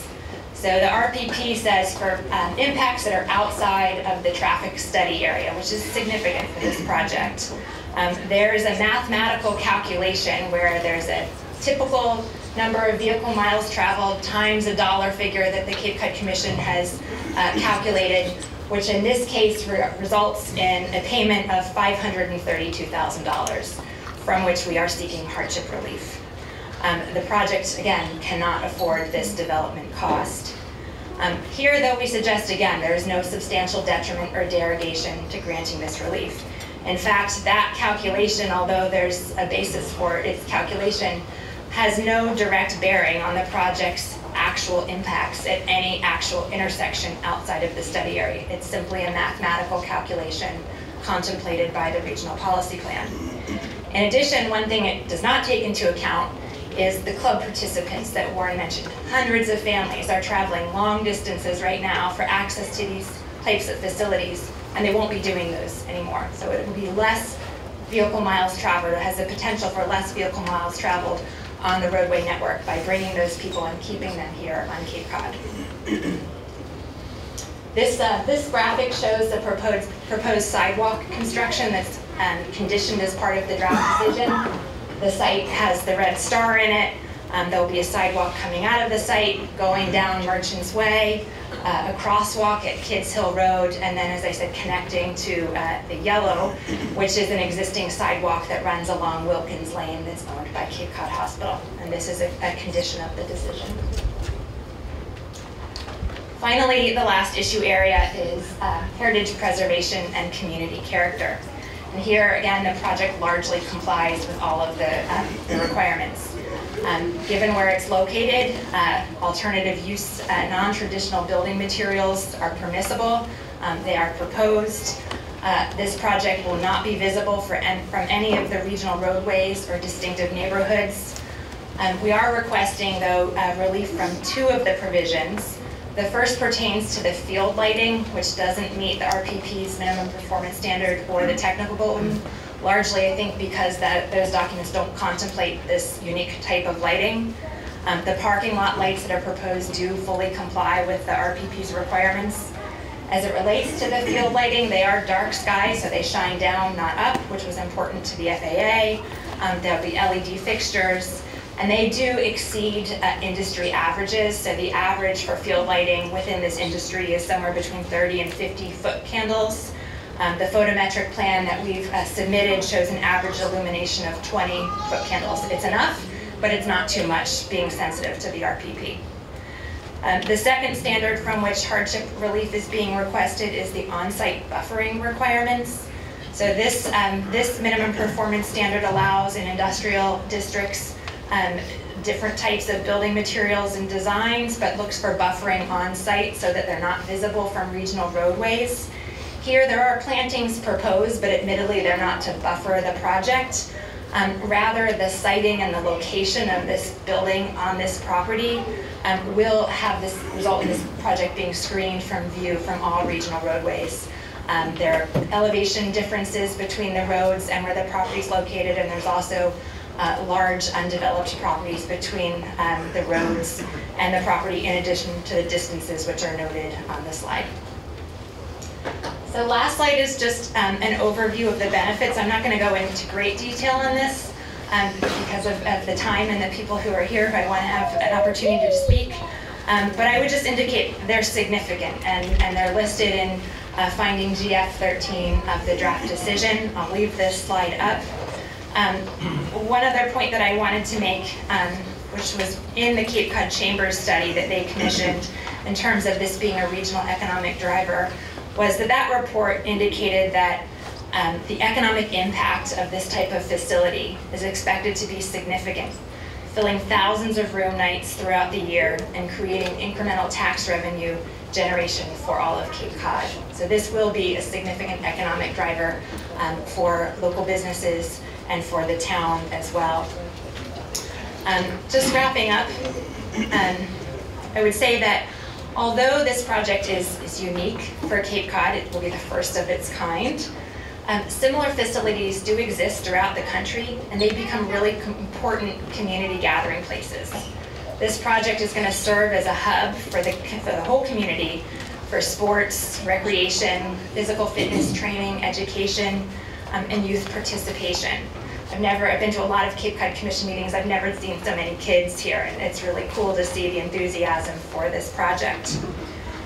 Um, There will be uh, significant um, income that's generated for the region by this project. It will be an economic driver. But the study, in addition, that the Cape Cod Chamber commissioned also recognized that there are high land and development costs on Cape Cod, and that most likely this type of project would require some kind of subsidy. And that's partially why we're requesting for um, hardship relief from some of the requirements from you. Without this, it's unlikely, whether it's a town or a private developer doing this type of facility, that one will be constructed on Cape Cod without some type of hardship relief from some of the requirements. the project is properly sited and designed to mitigate any of the land use impacts, and where it's requested, relief is the minimum that's necessary to enable this project to move forward. So uh, wrapping up on behalf of my clients, I I thank you very much for your time today. I know this is longer than projects are typically presented to you. Um, We appreciate it and are here to answer any questions that you may have. Thank you. Thank you. This time, we'll ask uh, for the commission staff's comments on the draft DRI HDEX decision. John Idman? Yeah, thank you. I'll try to be brief and not redundant. I know there are many people here and uh, public officials and the public, and I assume many of them want to make comments too. So really, the, the arguments you just heard um, are the ones uh, also ca- contained in the uh, draft decision that's before you. Um, Staff has, uh, you know, so you- staff has prepared this draft decision. Staff has reviewed the project in light of the regional policy plan. Uh, So the draft decision contains analysis. Um, It contains the findings and uh, conditions necessary um, if you choose to take action on this decision today to approve the project as a development of regional impact with conditions and grant the hardship exemption uh, that's been requested. I met a few weeks ago with uh, the applicants, and they explained the personal exigencies and and timeline they had with their project. Uh, We discussed that proceeding to the commission this, in this way directly without a subcommittee uh, was not something that was inappropriate under the regulations. Uh, Given those deadlines, though, I, we discussed getting a draft decision ready for the um, commission without a staff report or without a subcommittee. I thought it was appropriate because really what we were doing was just marshaling the applicant's arguments um, and presenting them to you in a, what I hope is a pretty concise, um, logical statement of the project uh, in relation to the standards that are, a project is necessary to meet to get DRI approval and hardship exemption approval. So I'll leave it at that, and of course, I'd be happy to take any questions as they might arise. I asked transportation staff and water resources staff to be here as well. I figured those are areas that if you did have more technical questions, um, they may be in those areas, so they're here to answer questions as well. Thank you. Thank you, John. At this time, I'm going to open the floor for the first round of commission questions and discussion. Yes, Roy? That's another one of those projects. uh, I know, is this on? No. Yeah, thank you. This is one of those projects that just is so overwhelmingly good. It's a privilege to be present, hearing it presented. And uh, I just am overwhelmed with the possibilities of this for our community. I have one concern, and I wonder what has been built into this organization that will make sure that all the young people in Cape Cod or town of Barnstable in particular will always be able to be part of it if any financial problems they might have. May- I wonder whether that's been addressed by you folks. Co-chair? Uh, Yes, it has. We we have uh, already with the Cape Cod Foundation, the Total Athletic Fund, which is a scholarship fund for those, for a couple people, couple reasons. Number one, uh, it's also going to have scholarships at our scholastic and athletic banquets and award scholarships uh, to Cape Cod recipients, uh, se- seniors in high school going off to college. But also, we're going to have, uh, within that fund, the ability to uh, offset any costs that we might have for a young man or young woman who can't meet the financial need necessary to participate in a camp, uh, where there's coaches and equipment and sometimes travel. So we have addressed that. Uh, I really am a firm believer in what uh, the Cape Cod Foundation represents and what they do here on Cape Cod. Uh, They're involved in a lot of different communities across the Cape, and uh, they will be also involved, as will we, uh, with them, uh, the Cape Cod Foundation. That doesn't quite answer my question. Then I, again, I didn't quite understand it then. Then, uh, well, probably because I didn't express No. it very well. But anyway, leaving out the resources that are already, already available on Cape Cod, what has the project itself done to ensure that some of the funds that will be realized will be designated for the poor people in our community. Well, to be honest with you, we haven't got that far with this project. We're just, we're working through our business plan and trying to make ends meet uh, on the board with our pro forma. Uh, Certainly something that we can uh, undertake or discuss uh, as we continue through this process and continue to build our facility.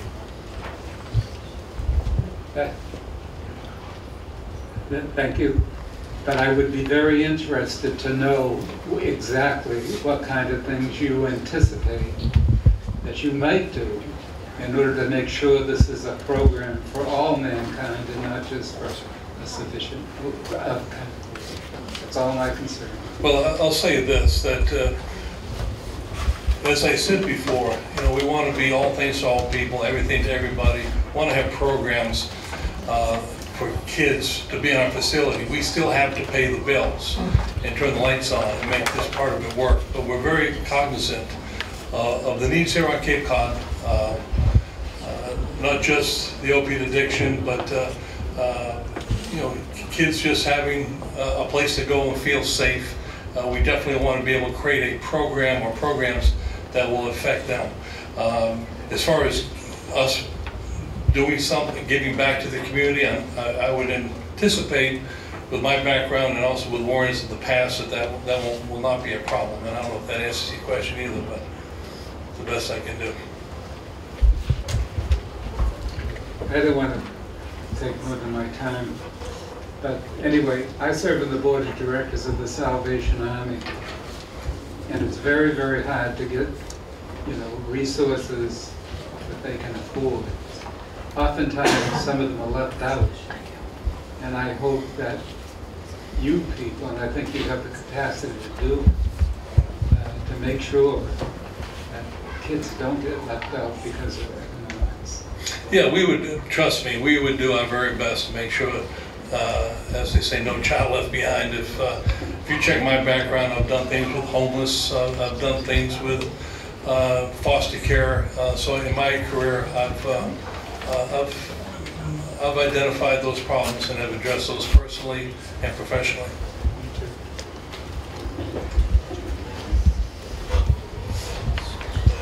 Uh, Just a couple of questions, um, just so I have my uh, head on straight.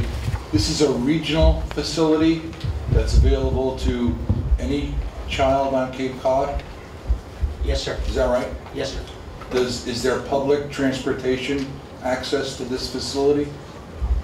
Warren, I need you to give the mic, please. Okay. It's being recorded. Sorry. So to answer the first question, the regional, it is a, we, the facility is being built for everyone that is on Cape Cod. The Facility is being built for people to come onto Cape Cod. There are people here from Fall River, for example, that I know came over that are coming on the Cape. Um, To answer the idea of public transportation, um, Randy Hart is here from our traffic study that was that big. I've never seen anything like it. Um, But he'll be able to address that comment. Okay, before you go, the- the other question I have is, is this a 24/7 operation? No, absolutely not. It's usually Okay. six, please, go, I'll be, So what's, I'll be there probably twenty-four seven what's with the, coach, what's the typical? six AM usually is when it opens up, usually closed at ten PM. Okay, thank you. Good afternoon, Randy Hart with VHB. Um, Currently, there is no transit service in this particular area, but one of the initiatives that Liza described for you and the commission asked us to provide is a uh, connection to the regional sidewalk network, allowing both pedestrians and bicyclists to get into areas where transit does exist and where other retail or uh, commercial opportunities do. So we're making the connection to that area, but currently there is no RTA in the area. Should the area continue to develop and there be more of a need, I think that's a conversation we'd love to have with the RTA. So have you had any conversations with the RTA? We have not yet. Okay. Excuse excuse me, with, with with the chair's uh, permission, I'm sorry, just based on the timing that we have right now, and I was remiss, I didn't see Councilman Flores that was in here, and he has a time consent uh, constraint. Is there any way he can jump in and speak right now? I'm going to finish up with the commission's first round of questions, and then I'll get him to the mic. Thank you, sir. Thank you. Kevin? Thank you, Mr. Chair. Um, For the applicant, I've been reading about this project in the paper for a while. Um, Seems like there's been a lot of interest in it. And when I um, seen that they've um, asked it for comment from commission staff on it, the response was, we've not received an application, so we have no response. So an application was submitted in May, which you're asking us to expedite now. What was the delay? It sounds like this has been in the works for a long time. Um, Why is this only coming to us now? Delay is simple. You can't, we didn't want to put forward a business plan that wasn't valid, wasn't letters of intent already signed, wasn't um, the ability to do it. Um, So when we went through the, uh, the Chamber's report, uh, there were a bunch of things in there that said that you had to, and we hired our own report that said, to put this through, you needed these five things. We didn't have those five things to get through, to put our, our our application in. I didn't feel it was appropriate to put an application in to build something that we didn't yet have our business plan and model yet ready to go. That was really it, and we, we absolutely knew the commission's response was always going to be and should be, we haven't received the application yet. Um, But we felt as a business plan for a solid year, being able to run this, sign our letters of intent, get the right people, get the right public support, the right political support, and more importantly, the right business plan is was needed before we filed that. And and it sounds like the success of your business plan is partly contingent on being able to start construction in September. It has to, it- yes, sir, and, and what that does is the project itself is a solid 12 months to build. If we're not ready by September of next year, that means there's another time that St. Pope John High School, St. If I'm saying it wrong, St. Pope John, they changed their name, is, goes to Mass Maritime, for example, for football. The uh, high school teams now have their, their own, their own fields, their own homes, Sturgis East, Sturgis West. Cape Cod Field Hockey that uses different fields all over the Cape, now be able to have their place ready for next year. So all those things would be delayed by a year, but does that change your development plan? It does. It, it changes the, the, the ability to, to run our programs, the ability to pay for our programs that we've started, the ability for um, the construction process, steel, um, I'll use as a business person, steel, in- we fit under, and got grandfathered in. Steel has increased across the nation 9%. If we delay $2.85 million of steel that's supposed to be delivered September 15th, I then incur another charge that comes onto the business plan. Steel, then, then it goes to another buil- builder. The chances of our getting our builder onto another year delay is something that, that goes forward, that we have to find the right person who's built something like this before. So there's just a, a a variety of monetary things that would enable us not to be able to open in time, which would actually hurt the project. Okay, thank you.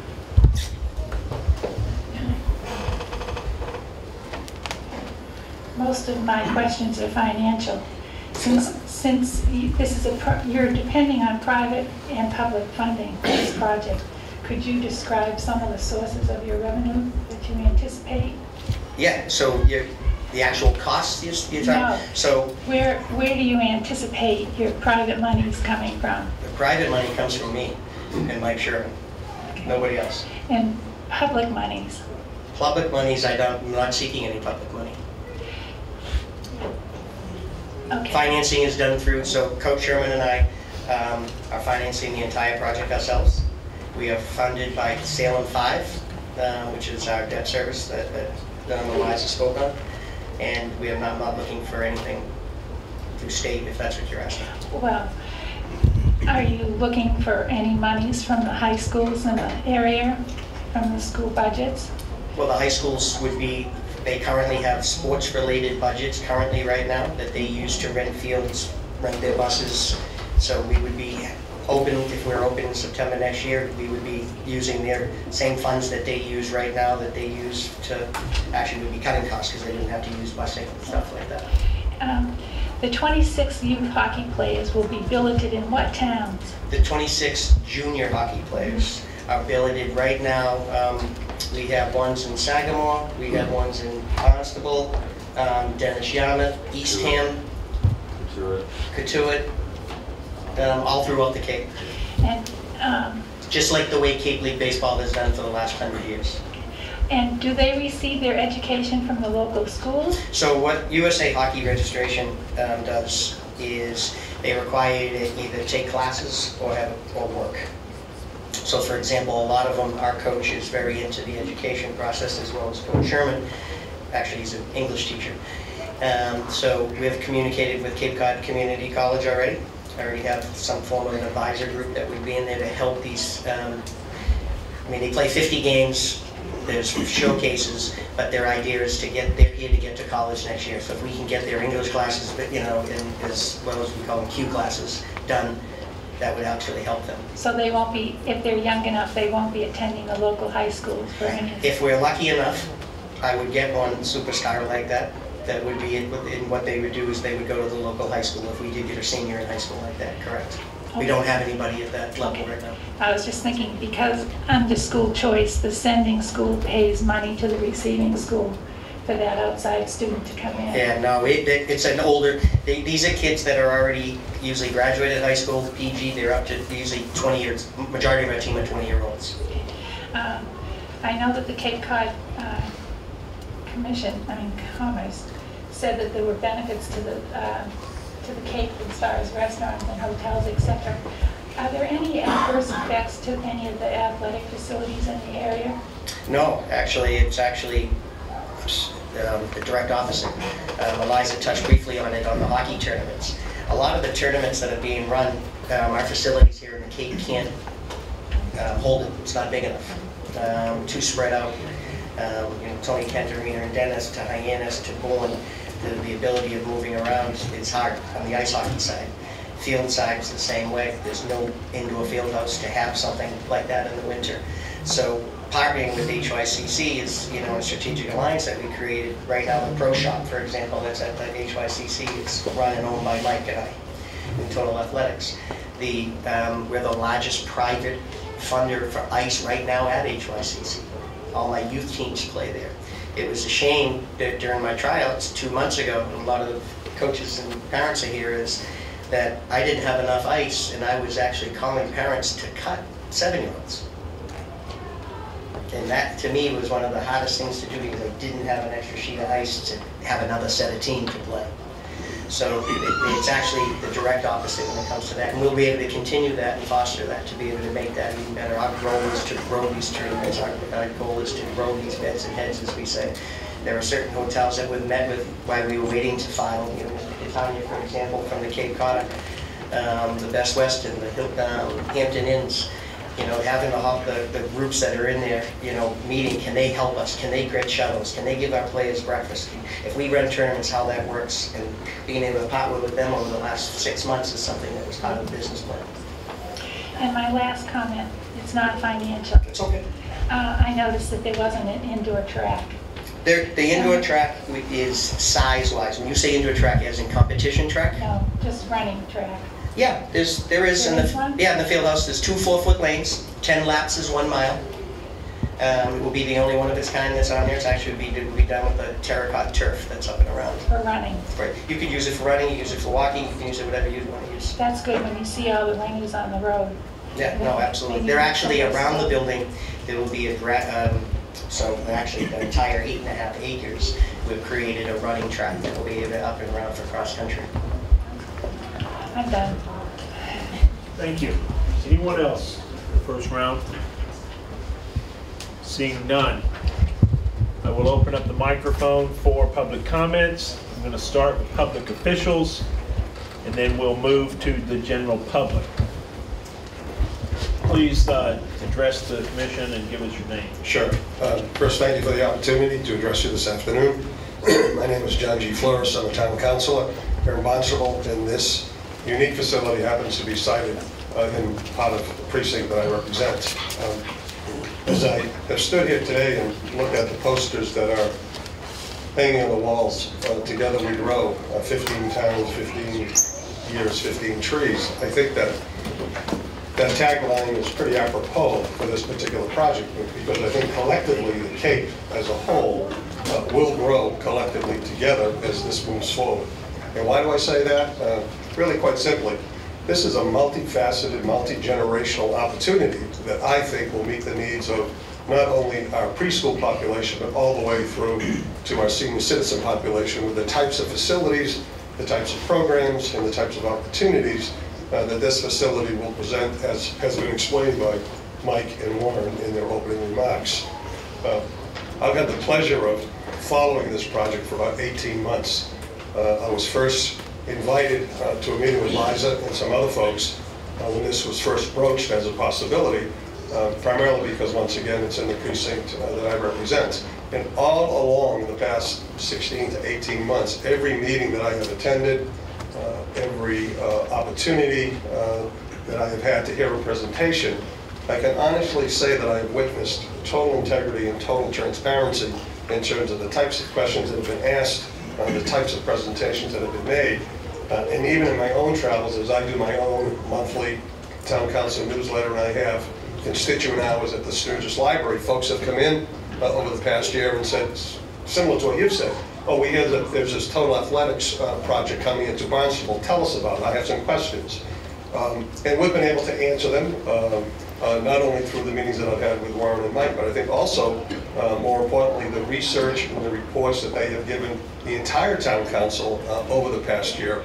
Uh, I think that we have been kept, we have been kept informed, we have been kept educated, and as a result, uh, I was happy to sponsor the zoning amendment to allow the project to go forward, as well as supporting, if you will, the hardship exemption. I know the town council as a whole, I don't want to speak for the whole town council right now because it would be inappropriate, but I know in conversations that I've had, uh, we're, we're a pro-business kind of, kind of entity, and I think we're looking forward to bringing this into the community because once again, uh, we see it as an opportunity uh, from an economic perspective, from an education perspective, uh, from just a- the right thing to do and to create opportunities for kids, uh, as well as adults, as well as seniors, that I don't think that we're going to see again probably for a good amount of time if in fact this does not go forward. Uh, So uh, with all of that being said, um, um, I totally support it. Um, I'm glad you asked the question about track and field. Um, I'm a retired school superintendent and was a teacher coach, and I happened to coach track and field. And I made sure when I saw Warren, I asked him about uh, the track and what we were going to have in there. And uh, he assured me uh, that that facility would be available for that particular purpose. Although even though he's a hockey guy at heart, um, we have to convince him that track and field is much more important. Uh, also has the opportunity to serve a lot more people. Um, I'm not sure he agrees with it, but he gave me, he gave me lip service. Nonetheless, um, uh, I'll bring my remarks to closure by just saying, I think it's a great idea, it's a great opportunity. I think it's going to service uh, not only um, the the many different populations, but uh, I have eight grandchildren, one who was just born last week, uh, living here in Barnstable, and I know that, given the opportunity that this is gender neutral, whether you're boy, girl, male, female, whatever you might be, um, uh, LGBT, um, whatever population you want to serve um, or represent, this is, this is going to be a place where there'll be an opportunity for that particular individual, so I support it wholeheartedly. And that being said, I have a note from another counselor, um, uh, Will Crocker, who me to read this uh, particular statement, if, uh, if I may so. Thank you. Uh, This is from Will Crocker, who happens to be a fellow town councilor and also is the second Barnstable State Representative, representing us um, pretty much on the south side uh, up at the State House. Uh, To whom it may concern, I write today to express my support for the Total Athletics of Cape Cod Training Center proposal before you today.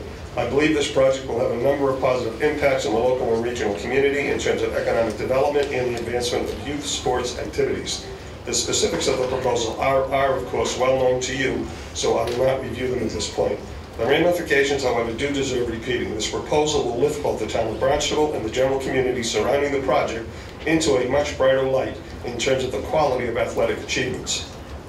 No longer will high-caliber local athletes be forced to travel off-Cape to pursue their goals. They will be able to practice their endeavors here with the high-quality facilities and high-quality coaching and guidance. This will, I believe, have a ripple effect and will bring similar athletes from off-Cape to this facility for training and contests of all sorts. I believe this project, under the auspices of Warren Nyan and Mike Sherman, will put Cape Cod on the forefront of athletic training and competition for the region. With an influx of athletes and teams to the area will come an increase in revenues to the community. One can, uh, one can already see that in the winter months when certain hockey tournaments come to the Cape. Lodging facilities and restaurants can tell you the uptick in spending is clearly visible in Welton. Finally, in another vein, I believe the Total Athletics Cape Cod Training Project will help our region in another very important area, drug abuse and the opiate crisis. Giving our youth another place to compete, train, or even just to congregate in a healthy environment is a key tool in keeping children off the streets and in a place where positive things can happen. So for these and many other reasons, I support the project and hope it will receive a positive vote from this body. Respectfully, Will Crocker. With that being said, I think uh, my comments, uh, this particular letter, really do reflect the sentiments uh, of the majority of the town council, as well as town officials that I have spoken with uh, over the past year and a half. So uh, with all due respect, thank you for the opportunity to speak, and I will go on the record as saying I wholly support the request for the hardship exemption, as well as moving forward with the zoning amendments. Thank you.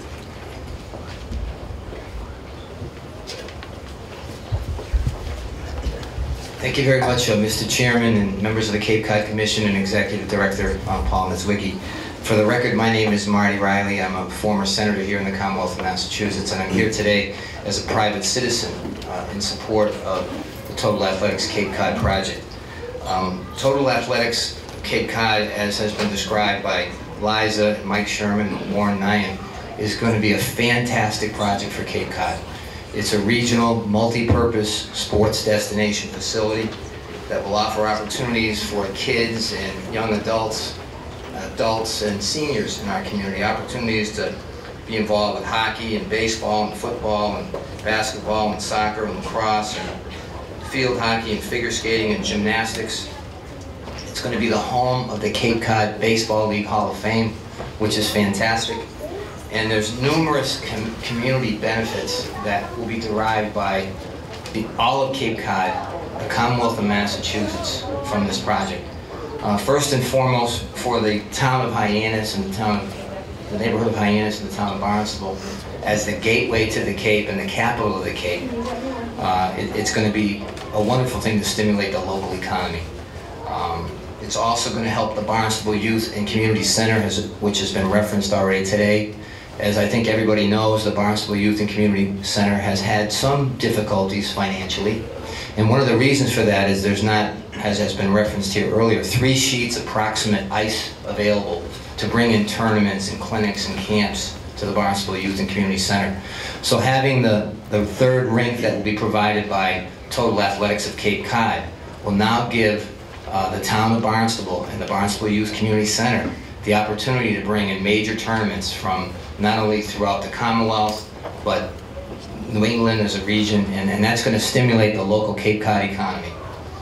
Um, as Liza had said, this project will bring in year-round tournaments for multiple sports, hockey, baseball, soccer, lacrosse, etc. So that's a very positive thing for the hoteliers, for the restaurateurs. It will create jobs, and again, will be will be excellent for the Cape Cod economy.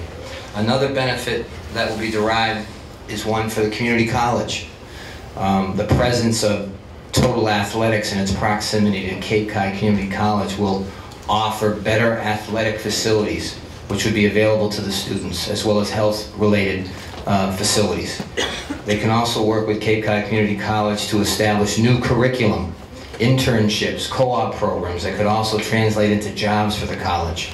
So that's another positive benefit for the community. And I think maybe even most importantly, beyond everything else, I think the Total Athletics Project is one that will be emphasizing sports and academics for the kids on Cape Cod, the kids and young adults, as an alternative to the opiate crisis and the substance abuse crisis and to crime, and showing kids that this is the positive track in life to take.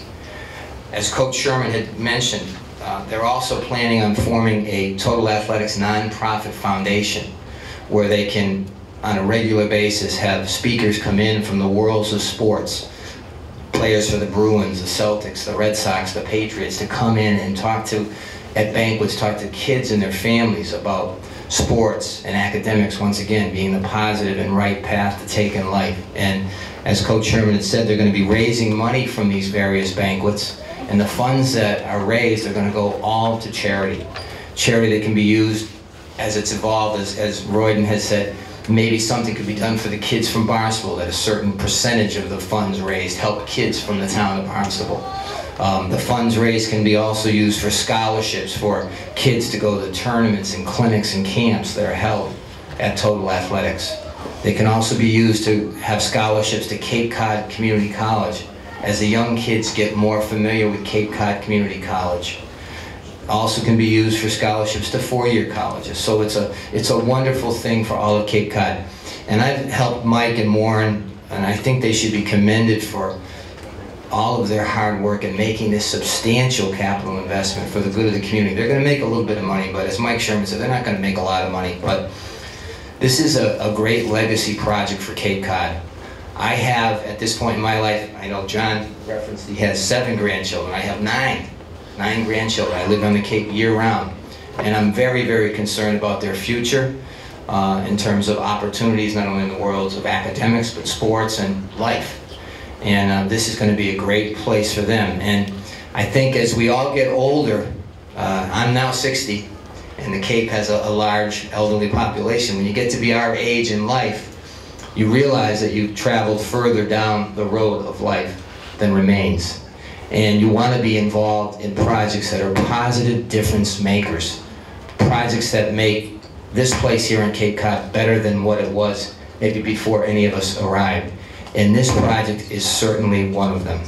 So I'm so happy to be here to, in support of this project and try to articulate the numerous community benefits. And I respectfully would ask your consideration in a favorable way to grant them the hardship exemption so that they can go forward in an accelerated fashion because the town of Barnstable and Hyannis, the village, is absolutely the place where they should go. You've got access to water and sewer.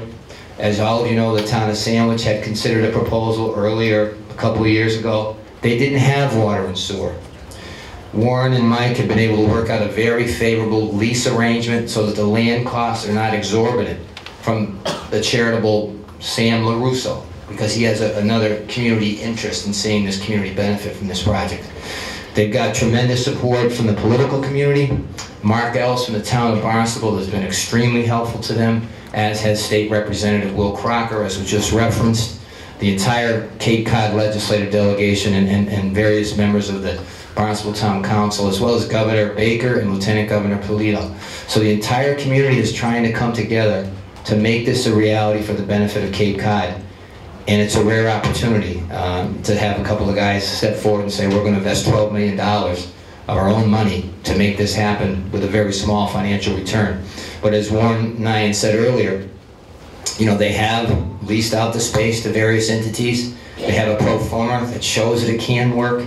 And with their charitable nonprofit arm, I assure you, with the committee that's put together from within the community, leaders of sports and business, et cetera, they'll make sure that the money that's raised to that foundation will go for very good things to benefit kids in Barnstable and all over Cape Cod. So I thank you very much for your consideration, and I sincerely believe that this is a win-win-win project for everybody, and hope that you will help them with an expedited approval and give them the hardship uh, relief that they are requesting. Thank you. Mr. Chairman, point of order. Um, When you have the vote, you stop talking. And I think, and I- and if it's appropriate at this time, I would ask you if we could vote on this, on this particular situation. Let me say this. We have a lot of people that have traveled a long way to come here and to speak. Um, If we feel that it's favorable, I would like to get a vote on this tonight. Okay. Uh, If we can ask for maybe a little bit of public comment, if you guys can keep it brief, keep it, and if you, I don't need everybody to come up and consistently tell me the same thing over and over again. If we can do that, I will open the mic up briefly and allow the public to speak. I want you to, if you come to the mic, please do so. Let us know your name, if you want to make a line, and we'll do that. I ask that at some point, I will turn off the mic that will allow the commission to take a vote tonight. Thank you, Mr. Chairman. Thank you. I'll be brief. My name is Sia Karpoulos. I'm with ScienceWares, and I'm going to talk about something that no one else is going to talk about, which is the energy efficiency and the renewable energies on this project. And we know this is a great project. That's why we're all here. It's a terrific project. There are lots of good reasons for it. And it's also being done in an incredibly environmentally responsible way. If you look at a standard facility like this, it'll use two, two and a half, three million kilowatt hours a year. That's a huge carbon footprint.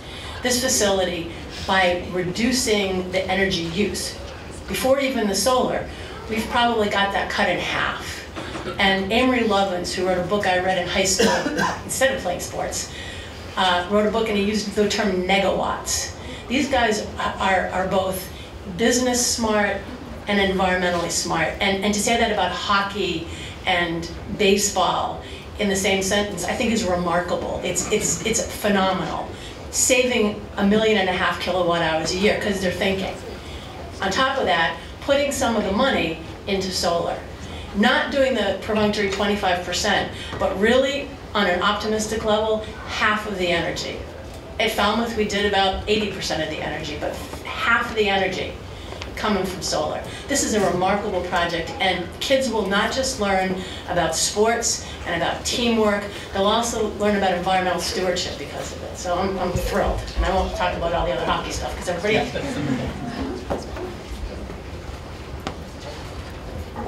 Good afternoon, um, everybody. I am Elizabeth Jenkins. I'm the planning director uh, for the town of Barnstable, and um, well, we've already heard uh, support from the town on this project.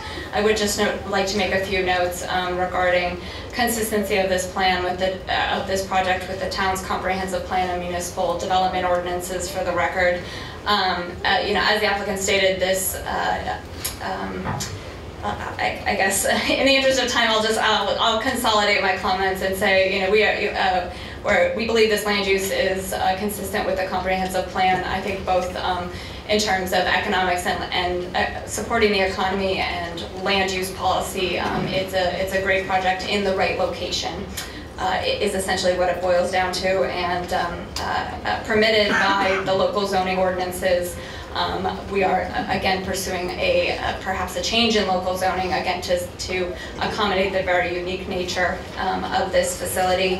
Um, and that, again, zoning amendment is uh, scheduled to be addressed by the town council on August 17th. Um, I'll just note again, you know, I do say, I do believe it is in the appropriate location in consideration of both the development impacts and the resulting community character um, that sports and recreation uh, is an important economic sector on Cape Cod and that this facility will complement and enhance recreational opportunities for all children uh, in the town of Barnstable.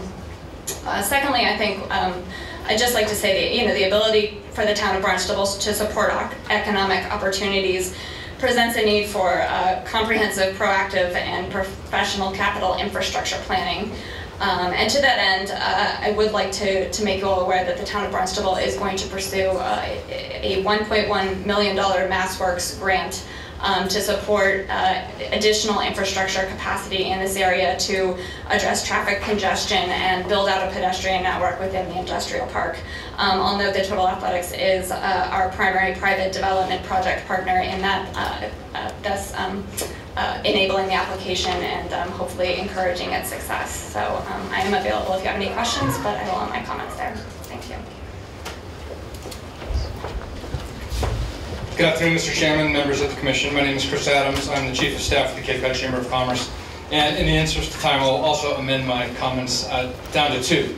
Uh, the first one, from our point of view, in terms of economic development, we feel that the, the greatest benefit of this project is the fact that the majority of their activity will be in the shoulder and off seasons, uh, while they will have activity there in the summer. The, the, youth sports tournament seasons start when school goes back in session and ends in June. So that represents many thousands of, of visitors to our towns, thousands of people in beds, in restaurants and shops, buying goods, using services, going to movies, etc. So, um, you know, we desperately need in our economy um, more stability. We need to soften the bell curve that we have of an economy right now, and this is an opportunity for us to do that.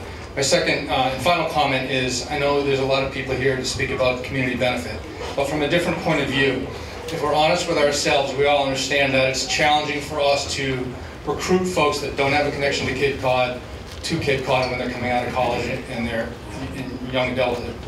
That said, a couple of years later, when they start thinking about settling down and perhaps getting married or having kids, they start looking at communities like ours because of the community benefit and the livability that we have here. They start looking at the quality of the schools and the qualities of neighborhoods and can they buy a house. And along those lines, they also look at what are the other amenities or or attractions or, or benefits to the communities that they could take advantage of, not only themselves, but for their kids. And this project uh, represents a really unique opportunity for us in our region to capture something that not other places have, that very few places have, especially in New England, and bring um, a new, unique aspect to our economy or, or our community that will help us get folks here that we need so badly to, to um, create better jobs, stronger jobs, improve our economy. Thank you.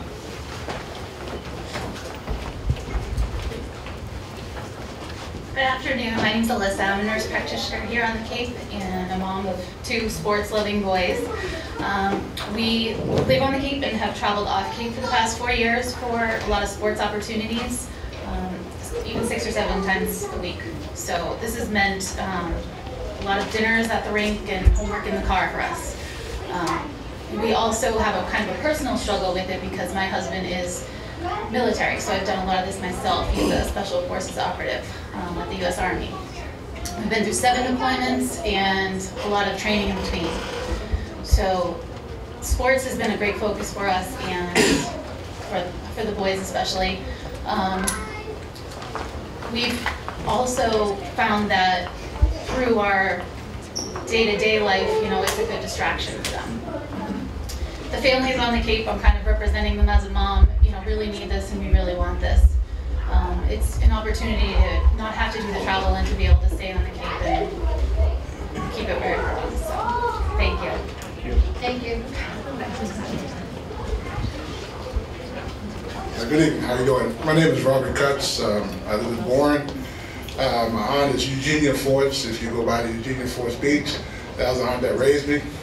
Uh, I've been um, contacted uh, uh, Warren here a few years ago. I retired from Fairfax County Sheriff's Department for 30 years, I moved back to the Cape, and I tried to give something back. Uh, Recently, I just became the certified coach for the Special Olympics and they didn't have a powerlifting coach here, and they don't have any place to train. And they usually go to Barnstable High School, so they definitely need a place to train.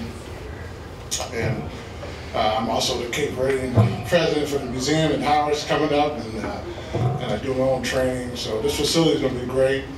And when I do my powerlifting training, I'm actually a four-time world champion in powerlifting. I, in law enforcement, I try to help the kids understand how cops think and understand what we do, what we do on top of training. My girlfriend and I own a business. She owns the business. She's been a, a pro bodybuilder for so many years, and um, we just want to do something positive. Um, I've been sitting back almost three years not working, waiting for this facility to be built so I can go to work. So hopefully um, you guys will approve this so we can get going. Thank you very much.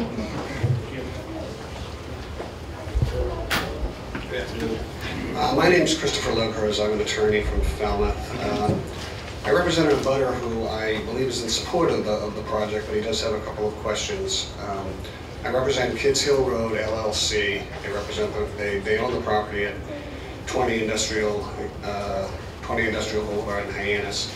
They also have a tenant in the property that had some questions. Tenant is General Services Administration. Um, My client came to me yesterday and told me he only learned of these proceedings about two, two or three days ago. Apparently, he's not an abutter in terms of legal abutter and getting notices of, of hearing, so he, he was a little bit upset that he didn't have time to be prepared. He asked me to come down here today and more or less indicate to you that he supports the project, but he wanted an opportunity to be able to look at the project.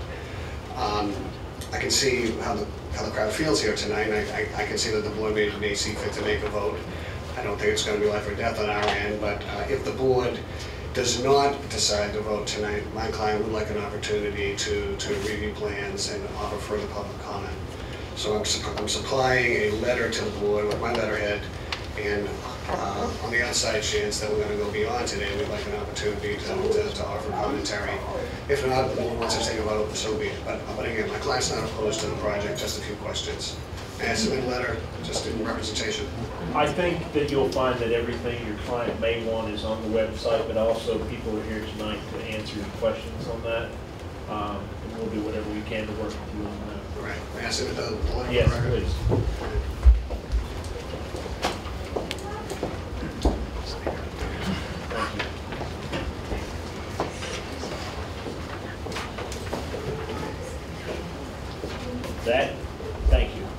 That being said, at this time, I never like to stifle the public, but at the same time, uh, I'm- I would like to take a vote tonight after the 5 o'clock hour. So if anyone feels something really burning and yearning in your stomach that you feel you must say, if not, I'm going to close public comments.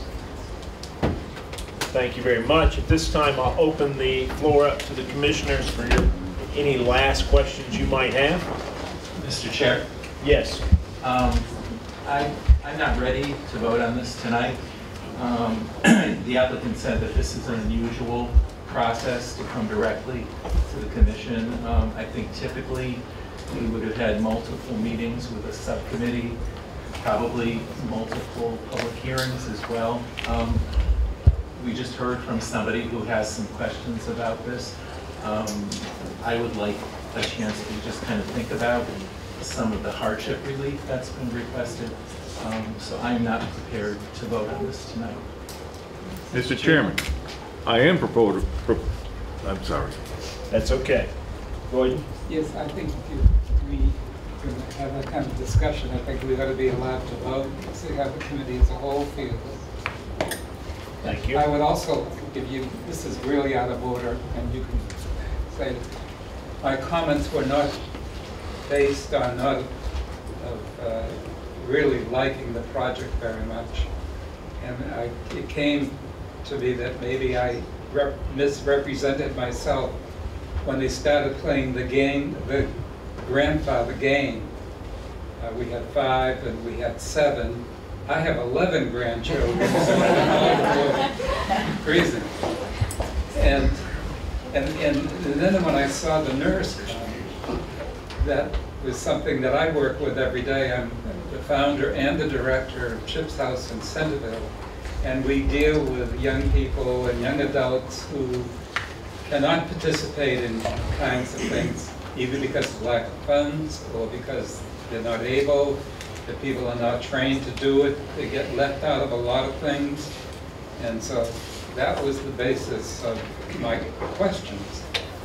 The basis of my position were the first words that I said, and I hope you remember what they were, I'm not going to quote them. I, that's how I feel.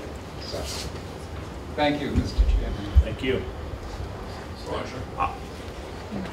Yes, Roger. Mr. Chairman, thank you. I want you to know that I've got five great-grandchildren. As far as we're concerned, I'm ready to vote on this thing anytime you bring it up.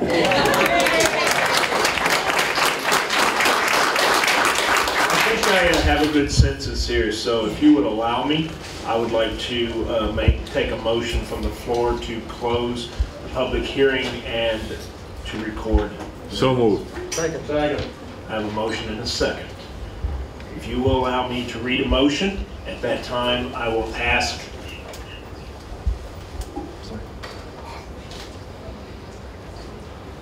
I'm sorry.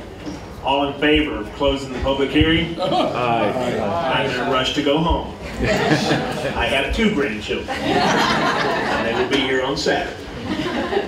Sorry, you trumped me. All in favor? Aye. Any opposed? That being said, I will make, I will take a motion to move to adopt the draft decision and grant the applicant, Total Athletics of Cape Cod, application for a DRI hardship extension and grant the hardship extension relief in the regional policy plan issued areas of open space and recreation, transportation, affordable housing, and community character, and find that as outlined in the decision, A, a literal enforcement of the act would involve substantial hardship, B, relief granted is related to the minimum relief necessary to address that hardship, and C, relief does not nullify, substantially degrade, or the intent, purpose of the Cape Cod Commission Act, nor result in substantial detriment to the public good. I'll take a motion. So moved. I have a motion. Do I have a second? Second. I have a second at this time. All in favor, please say aye. Aye. Any opposed? Any abstentions? I'm going to abstain. I understand. So this motion carries. You will have your extension.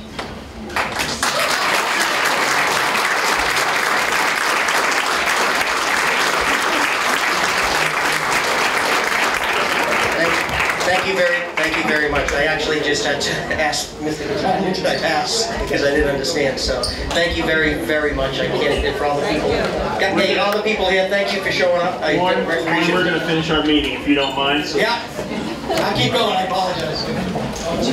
Ladies and gentlemen, we have one or two quick things to take care of. Would like to vote on the minutes of the 7/6/17. The minutes, uh, at that time, anybody got a motion? Second? Second. Ladies and gentlemen, if you could please exit as quiet as possible. Thank you very much. I have a motion and a second, all in favor? Aye. Any opposed? Motion carries. Paul, would you, we'll do it next time around? Move for adjournment? Second. Got a motion to adjourn, I have a second. Favor? Aye. Any opposed?